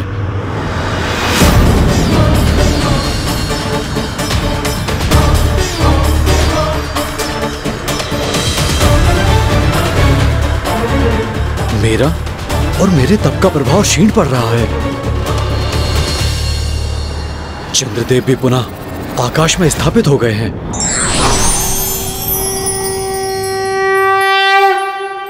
पुत्र भौम तुम्हारी तपस्या से उत्पन्न ताप के कारण मुझे अपार चिंता हो रही थी, क्योंकि उस ताप को सहना मेरे लिए भी कठिन हो रहा था। वही तो मेरे तप का उद्देश्य था, माता। मैं इतना ताप, इतनी उष्णता उत्पन्न करना चाहता था, जिससे महादेव भी प्रभावित हो। यहाँ आकर मुझे दर्शन देने के लिए विवश हो जाए। किंतु मेरा तप व्यर्थ क्यों हो गया? ताप के स्थान पर मैं शीतलता का अनुभव क्यों कर रहा हूँ? वो इसीलिए संभव हुआ पुत्र क्योंकि प्रथम पूज्य गणेश जी ने चंद्रदेव पर कृपा कर उन्हें क्षमा कर आंशिक रूप से श्राप मुक्त कर दिया। गणेश गणेश गणेश गणेश गणेश। एक बार पुनः गणेश ने मेरी योजना को नष्ट कर दिया। ये गणेश मेरे मार्ग की बाधा बनता जा रहा है। मुझे शीघ्र इसका कोई उचित उपाय करना होगा। पिताश्री मुझे क्षमा कर दीजिए। मैं अपने क्रोध को नियंत्रण करने के स्थान पर उसी के वश में आता रहा जिसके परिणाम स्वरूप मैंने आपको भी दुख पहुँचाया पिताश्री। अपने इस पुत्र को क्षमा कर दीजिए आप। गणेश कभी कभी सिद्ध महात्मा भी अपने क्रोध के भाव में बह जाते हैं। किंतु मुझे बहुत प्रसन्नता है कि तुम्हारा क्रोध दूर हो चुका है और सब यथावत हो गया। अवश्य पिताश्री, इसके लिए भी आपको कोटि कोटि धन्यवाद। आपने मेरा मार्गदर्शन किया। मुझे इस क्रोधावस्था से निकालने हेतु माँ और भैया के साथ मेरी प्रार्थना की और जिसके परिणाम स्वरूप ही मुझे इस समस्या का समाधान सूझा, पिताश्री। पुनः कोटि कोटि धन्यवाद, पिताश्री। प्रणाम। अब चाहे परिस्थिति कुछ भी हो, मैं अपने क्रोध को स्वयं पर कदापि हावी नहीं होने दूँगा। ओम नमः शिवाय, ओम नमः शिवाय, ओम नमः शिवाय, ओम नमः शिवाय।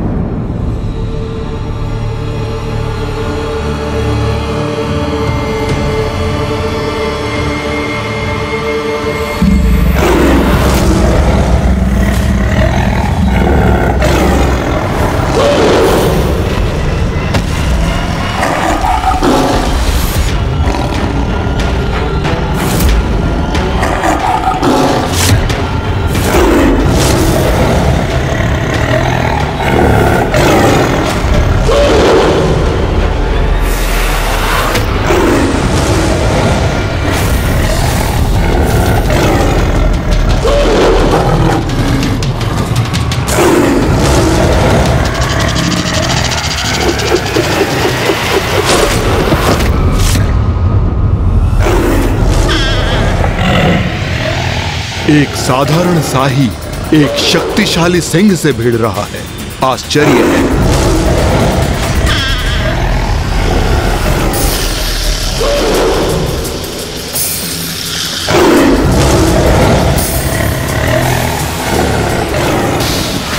देखता हूँ, सिंह और शाही का यह युद्ध कितने समय तक चलता है।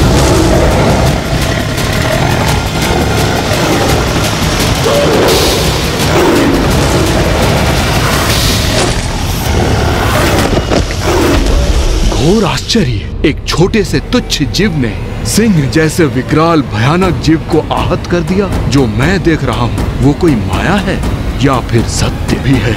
ये रहस्य ज्ञात होना ही चाहिए।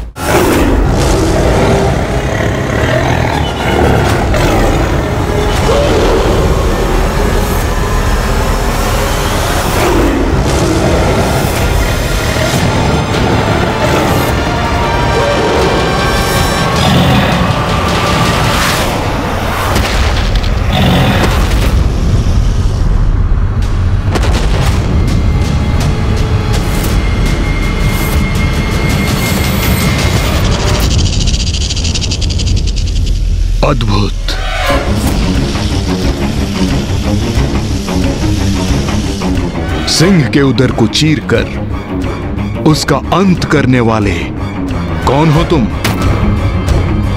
कोई साधारण साही नहीं हो सकते तुम। अपना वास्तविक स्वरूप प्रकट करो।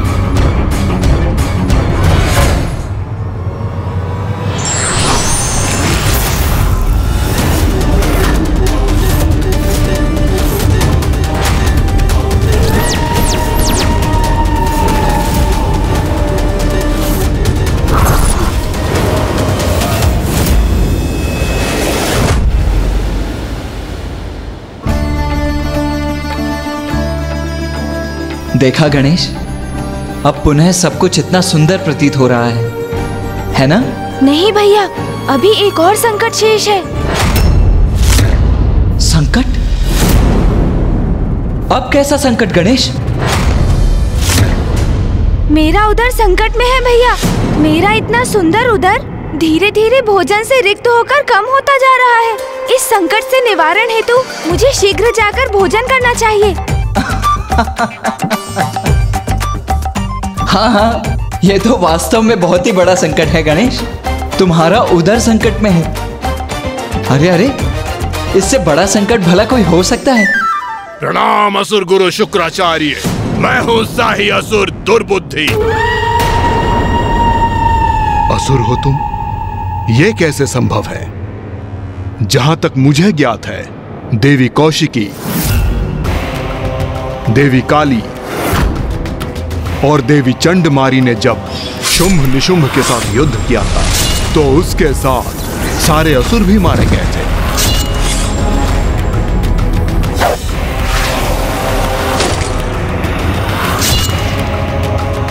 फिर तुम कहाँ से प्रकट हो गए?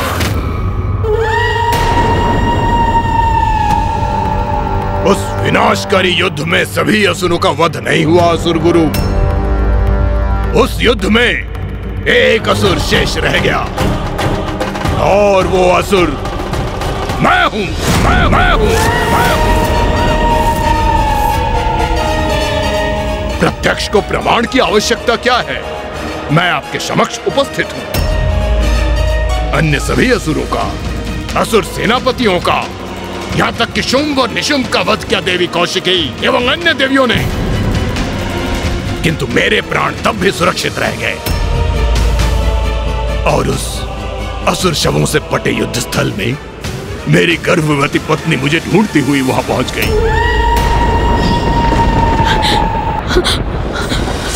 कहा है आप, स्वामी? आप कहा है, स्वामी? स्वामी, आप कहा है?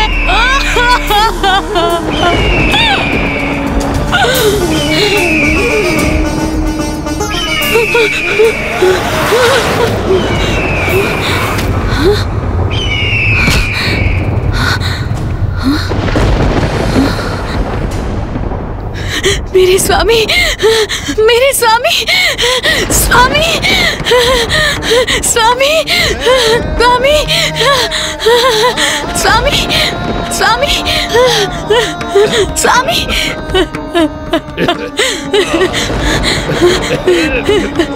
मुझे क्या था? आप अवश्य ही जीवित होंगे स्वामी। और आप आप जीवित हैं। रोदन करने की कोई आवश्यकता नहीं है। मैं, मैं जीवित हूँ। किंतु तुम इस अवस्था में यहाँ असुरों का भीषण संहार देखने के लिए हमारी पराजय का ऐसा भयानक परिणाम देखने के लिए क्यों आई हो? असुर महानायक शुंभ ने हमें विजय का विश्वास दिलाया था। किंतु किंतु हुआ क्या? असुरों का ऐसा भीषण सर्वनाश। असुर समुदाय नष्ट हो चुका है प्रिय। मेरे सिवा कोई असुर शेष नहीं रहा। नहीं स्वामी। नहीं। अभी असुरों का समुदाय नष्ट नहीं हुआ है। आप जो जीवित हैं। किंतु मैं अकेला क्या करूँगा प्रिय? एक क्षत विक्षत आहत और एक अकेले असुर में भला कितना सामर्थ्य हो सकता है?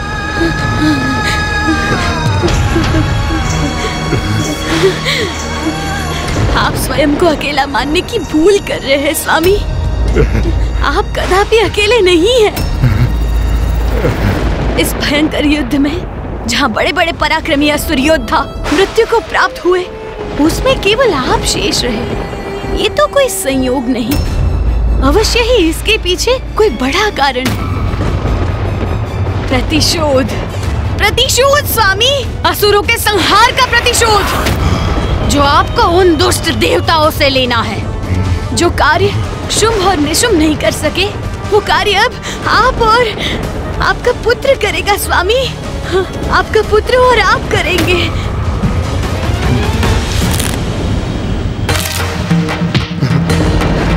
नहीं प्रिय, नहीं नहीं। असुरों के समूल नाश के बाद भी मेरी पत्नी ने हमारे शिशु को जन्म दिया। कदाचित अब यही शिशु देवताओं के साथ युद्ध में मेरा सहायक सिद्ध होगा।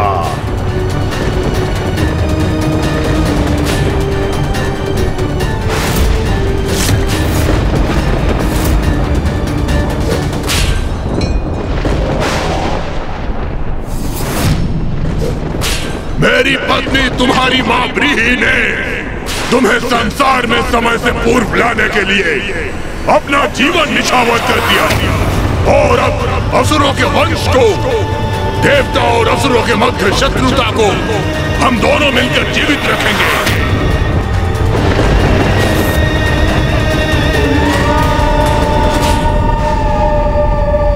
किंतु तुम तो यहाँ अकेले हो। तुम्हारा पुत्र कहाँ है? असुर गुरु, मेरी पत्नी ब्रीही की इच्छा के अनुसार मेरा पुत्र ज्ञानहरि का विवाह एक नाग कन्या के साथ संपन्न हुआ, जो कि अब गर्भवती है। ज्ञानहरि अपने पुत्र के जन्म का प्रतीक्षा कर रहा है, जिसके उपरांत ही वो युद्ध के लिए प्रस्तुत होगा किंतु मैं अभी और प्रतीक्षा नहीं कर सकता। मैं अभी प्रतिशोध लेने के लिए तत्पर हूँ। आप असुर गुरु हैं, इसलिए आप ही मेरा मार्गदर्शन कीजिए। बताइए मैं क्या करूँ? कहाँ चोट पहुंचाऊं? कैसे पहुंचाऊं? जिससे देवताओं को सर्वाधिक आघात पहुँचे।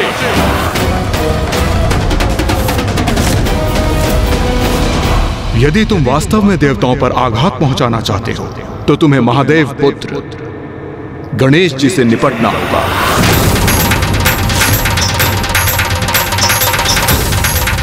महादेव और पार्वती नंदन, प्रथम पूज्य गणेश जी देवताओं की शक्ति है। जब भी किसी असुर राज ने देवताओं को नष्ट भ्रष्ट करने की योजनाओं का निर्माण किया है, तब गणेश जी उसमें विघ्नकर्ता की भूमिका निभाई है।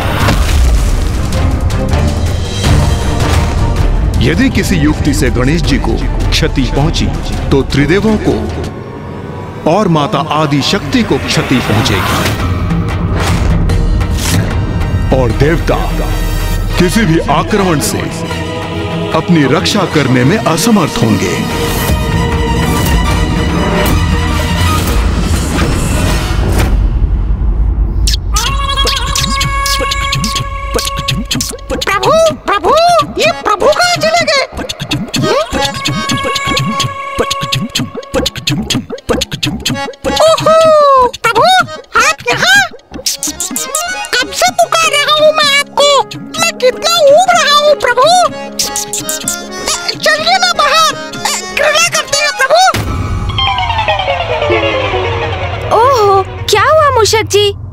मुझे इतना शांत क्यों कर रहे हैं?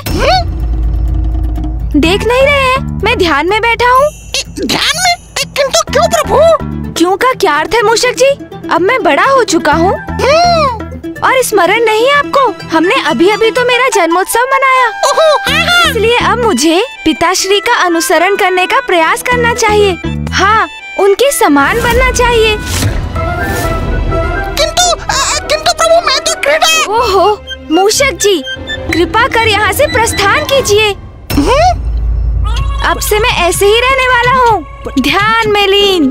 पिताश्री के ही समान। अच्छा। जाइए जाइए। अब मैं बालक नहीं रहा मूषक जी जो आपके साथ क्रीड़ा करता रहूँ। अच्छा। फिर मैं जाता हूँ प्रभु।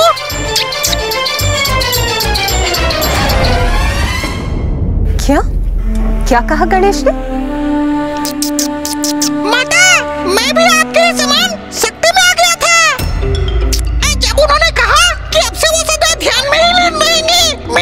क्रीड़ा नहीं करेंगे।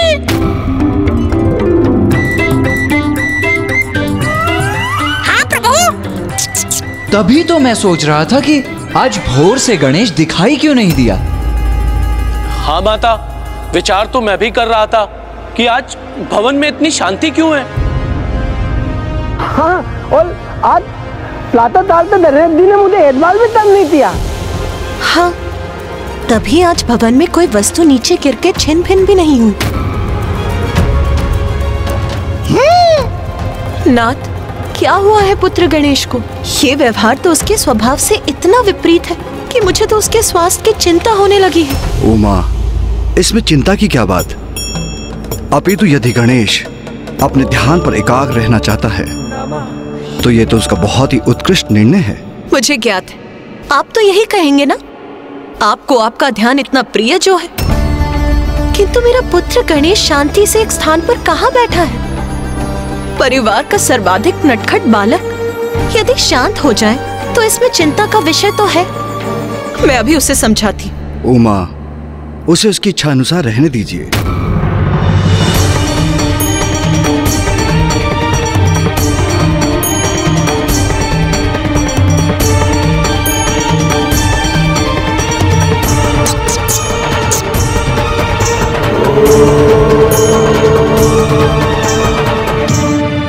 ये बताइए असुर गुरु गणेश को कहाँ पाऊँ और उसे कैसे क्षति पहुंचाऊं? इसका तो एक अत्यंत सरल उपाय है दुर्बुद्धि।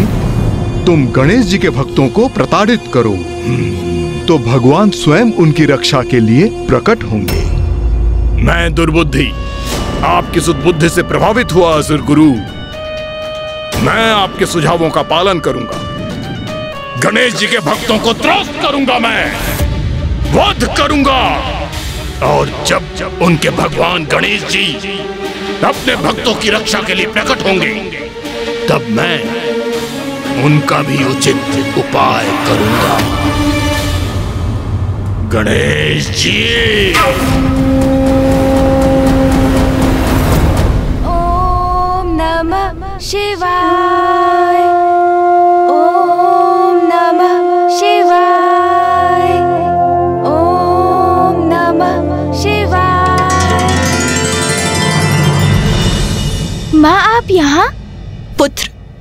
पुत्र तुम कुशल तो हो ना? क्या कोई चिंता सता रही है तुम्हें? क्या किसी बात से सशंकित हो तुम? पुत्र मुझे बताओ क्या हुआ है तुम्हें? माँ मैं सर्वथा सकुशल हूँ। किंतु आप मेरा ध्यान भंग कर रही हैं। पुत्र ये क्या हुआ है? अचानक इतने गंभीर क्यों हो गए हो तुम? माँ ये तो आपको भी स्मरण होगा ना? अपने जन्म दिवस पर मैंने क्या घोषणा की थी? मैंने कहा था, प्रत्येक वर्ष अपनी जन्म तिथि अर्थात गणेश चतुर्थी पर मैं अपने भक्तों की मनोकामना पूर्ण करने के लिए उन्हें वरदान दूँगा। उनके सभी विघ्न दूर करूँगा। और माँ, आप और पिताश्री तो मुझे सदा यही आभास कराते रहे हैं ना? कि मैं परम ब्रह्म हूँ तो अब मैं अपने उत्तरदायित्व को बड़ी गंभीरता से लूँगा माँ। और उसके लिए मेरा पिताश्री के समान एकाग्रचित होकर ध्यान करना तो अनिवार्य है ना, माँ? हाँ माँ, अब मैं पिताश्री के उदाहरण का अनुसरण करूँगा। सदा ध्यान में लीन रहकर अपने भक्तों की प्रार्थना सुनते हैं वो। मैं भी तो ध्यान मग्न रहकर ही अपने भक्तों के साथ संपर्क स्थापित कर सकूँगा। और उन्हें जब मेरी आवश्यकता होगी, माँ तो मैं सर्वशक्तिमान भगवान के रूप में उनके सम्मुख प्रकट होकर उनकी रक्षा करूँगा। परम ब्रह्म हूँ मैं। तो मुझे उनके अनुरूप आचरण तो करना ही होगा ना, माँ? जो कुछ आपने और पिताश्री ने मुझे सिखाया है, माँ, मैं उसी का पालन करने की तो चेष्टा कर रहा हूँ। और आपने उसके आरंभ में ही मेरा ध्यान भंग कर दिया, माँ। पुत्र, तुम्हारा प्रयोजन समझ गई हूँ मैं। अब तुम निर्विघ्न ध्यान करो। उसमें अब मैं कोई बाधा नहीं डालूँगी। तुम स्वयं में ही रम जाओ। एक ओर तुम्हारे पिताश्री और दूसरी ओर तुम। अच्छा तो ये बात है। फिर तो पुत्र तुम्हें परखने के लिए हमें भी कुछ करना ही चाहिए।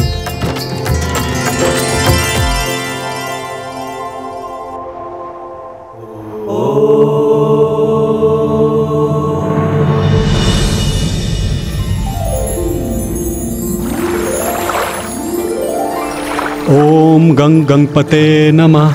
ओम गंग गणपते नमः। ओम गंग गणपते नमः। ओम स्वामी? गणपते नमः। स्वामी मैं पूजा के लिए स्वच्छ फल और पुष्प ले आई हूँ। मैं भी प्रभु के श्री विग्रह के लिए मिट्टी एकत्रित कर चुका हूँ देवी लता। व्रत संकल्प करने के उपरांत गणेश जी के पार्थिव श्री विग्रह की रचना कर हम पूजा प्रारंभ करेंगे। और मैं भी बड़ी उत्सुकता से गणेश जी की पूजा करने के लिए तत्पर हूँ। उन्हें समर्पित करने के लिए हमारे पास अधिक कुछ नहीं है। किंतु हमारी अटूट भक्ति हम उन पर अवश्य निछावर कर सकते हैं। अब हमें लौटकर पूजा की तैयारी शुरू करनी चाहिए। जी स्वामी।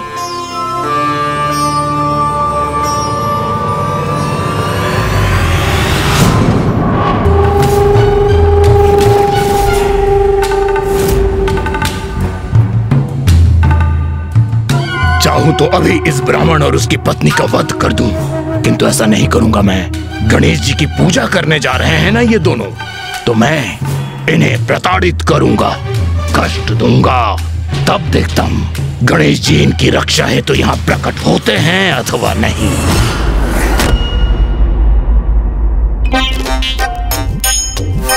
मेरे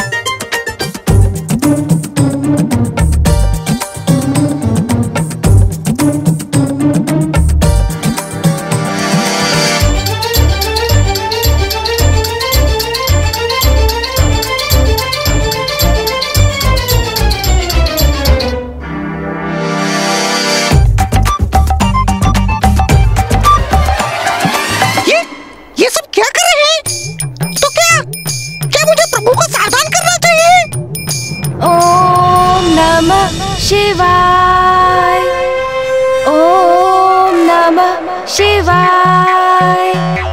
ओम नमः शिवाय। ओम नमः शिवाय। ओम नमः शिवाय। ओम नमः शिवाय। ओम नमः शिवाय। ये ध्यान करते करते अचानक मुझे लड्डुओं और मिष्ठानों की सुगंध क्यों आने लगी?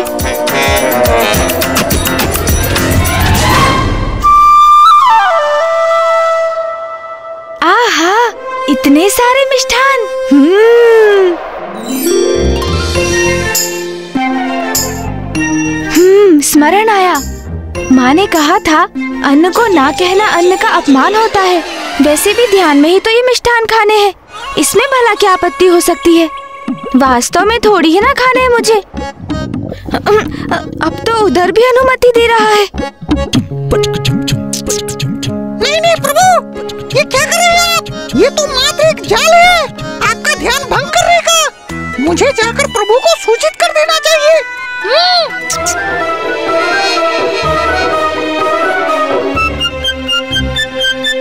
हम्म।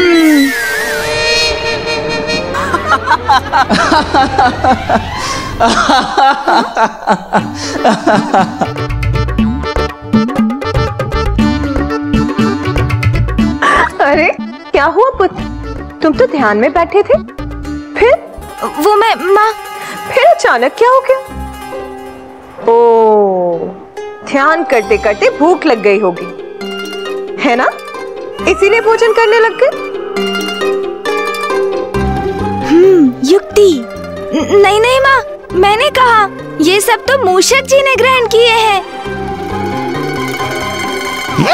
मैंने? मैं तो आपको इस भोजन के आकर्षण के प्रति सावधान करने आया था प्रभु। ये तो बहुत अच्छा ध्यान है गणेश। मुझे भी ऐसा ध्यान सिखाने की कृपा कीजिए ना पिताश्री। जिसके फल स्वरूप इतने लड्डू खाने का अवसर प्राप्त होता है।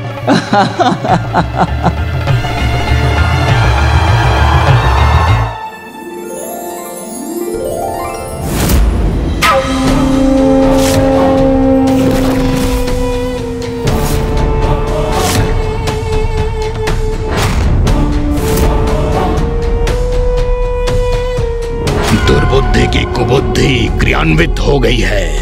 अब इन दोनों ब्राह्मण ब्राह्मणी को सताने का आनंद लूँगा मैं।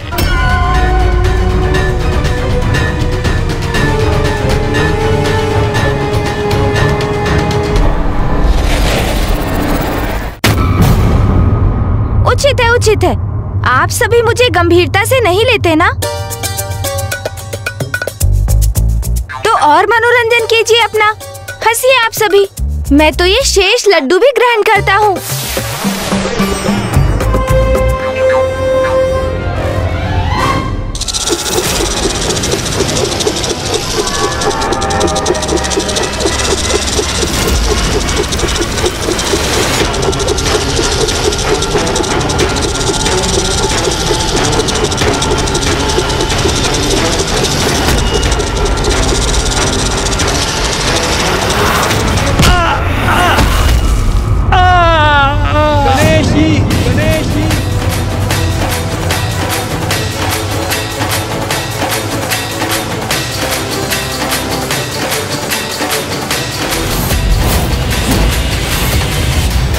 अवश्य ही किसी भक्त की सहायता की पुकार सुनी है पुत्र गणेश ने।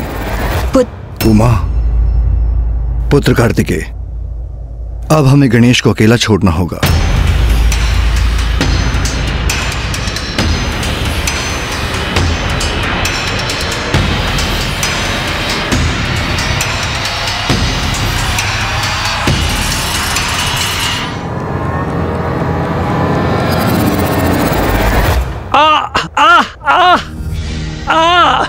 स्वामी आपका पाँव तो आहत हो गया है। मैं आपकी सहायता करती हूँ। आ गणेश जी गणेश। जी ये किनकी पुकार थी? क्या कोई संकट में है? देवी लता ये घाव तो भर जाएँगे। मैं पुनः कुशल हो जाऊँगा। किंतु दुख तो मुझे इस बात का है। कि जो मिट्टी मैंने पूजा के लिए एकत्रित की थी, वो गिर गई। आप कुटिया में जाइए और पूजा की सामग्री तैयार करना आरंभ कीजिए। मैं पुनः मिट्टी एकत्रित करके लाता हूँ। पूजा का एक उचित मुहूर्त होता है। इसलिए अब हमें पूजा में और विलंब नहीं करनी चाहिए। आ आ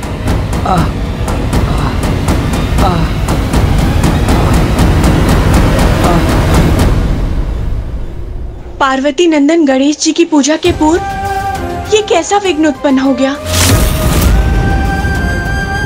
नहीं नहीं। इस विचार को तो मुझे अपने हृदय में भी नहीं लाना चाहिए।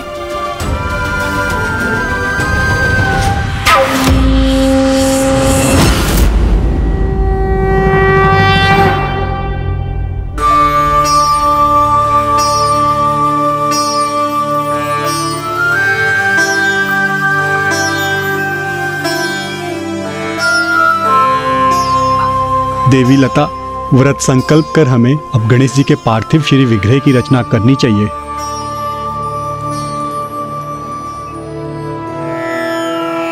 ओम गण गणपते नमः।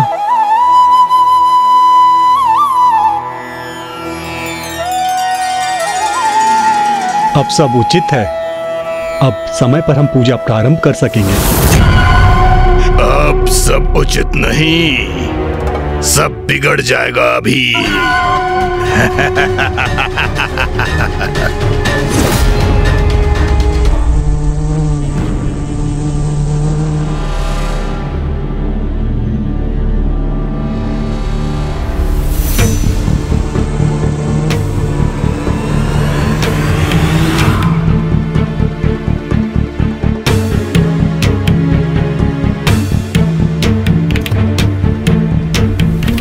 स्वामी क्या हुआ?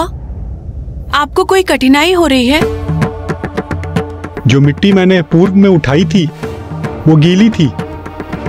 ये मिट्टी इसमें तो पानी डालने में भी नहीं जुड़ रही है।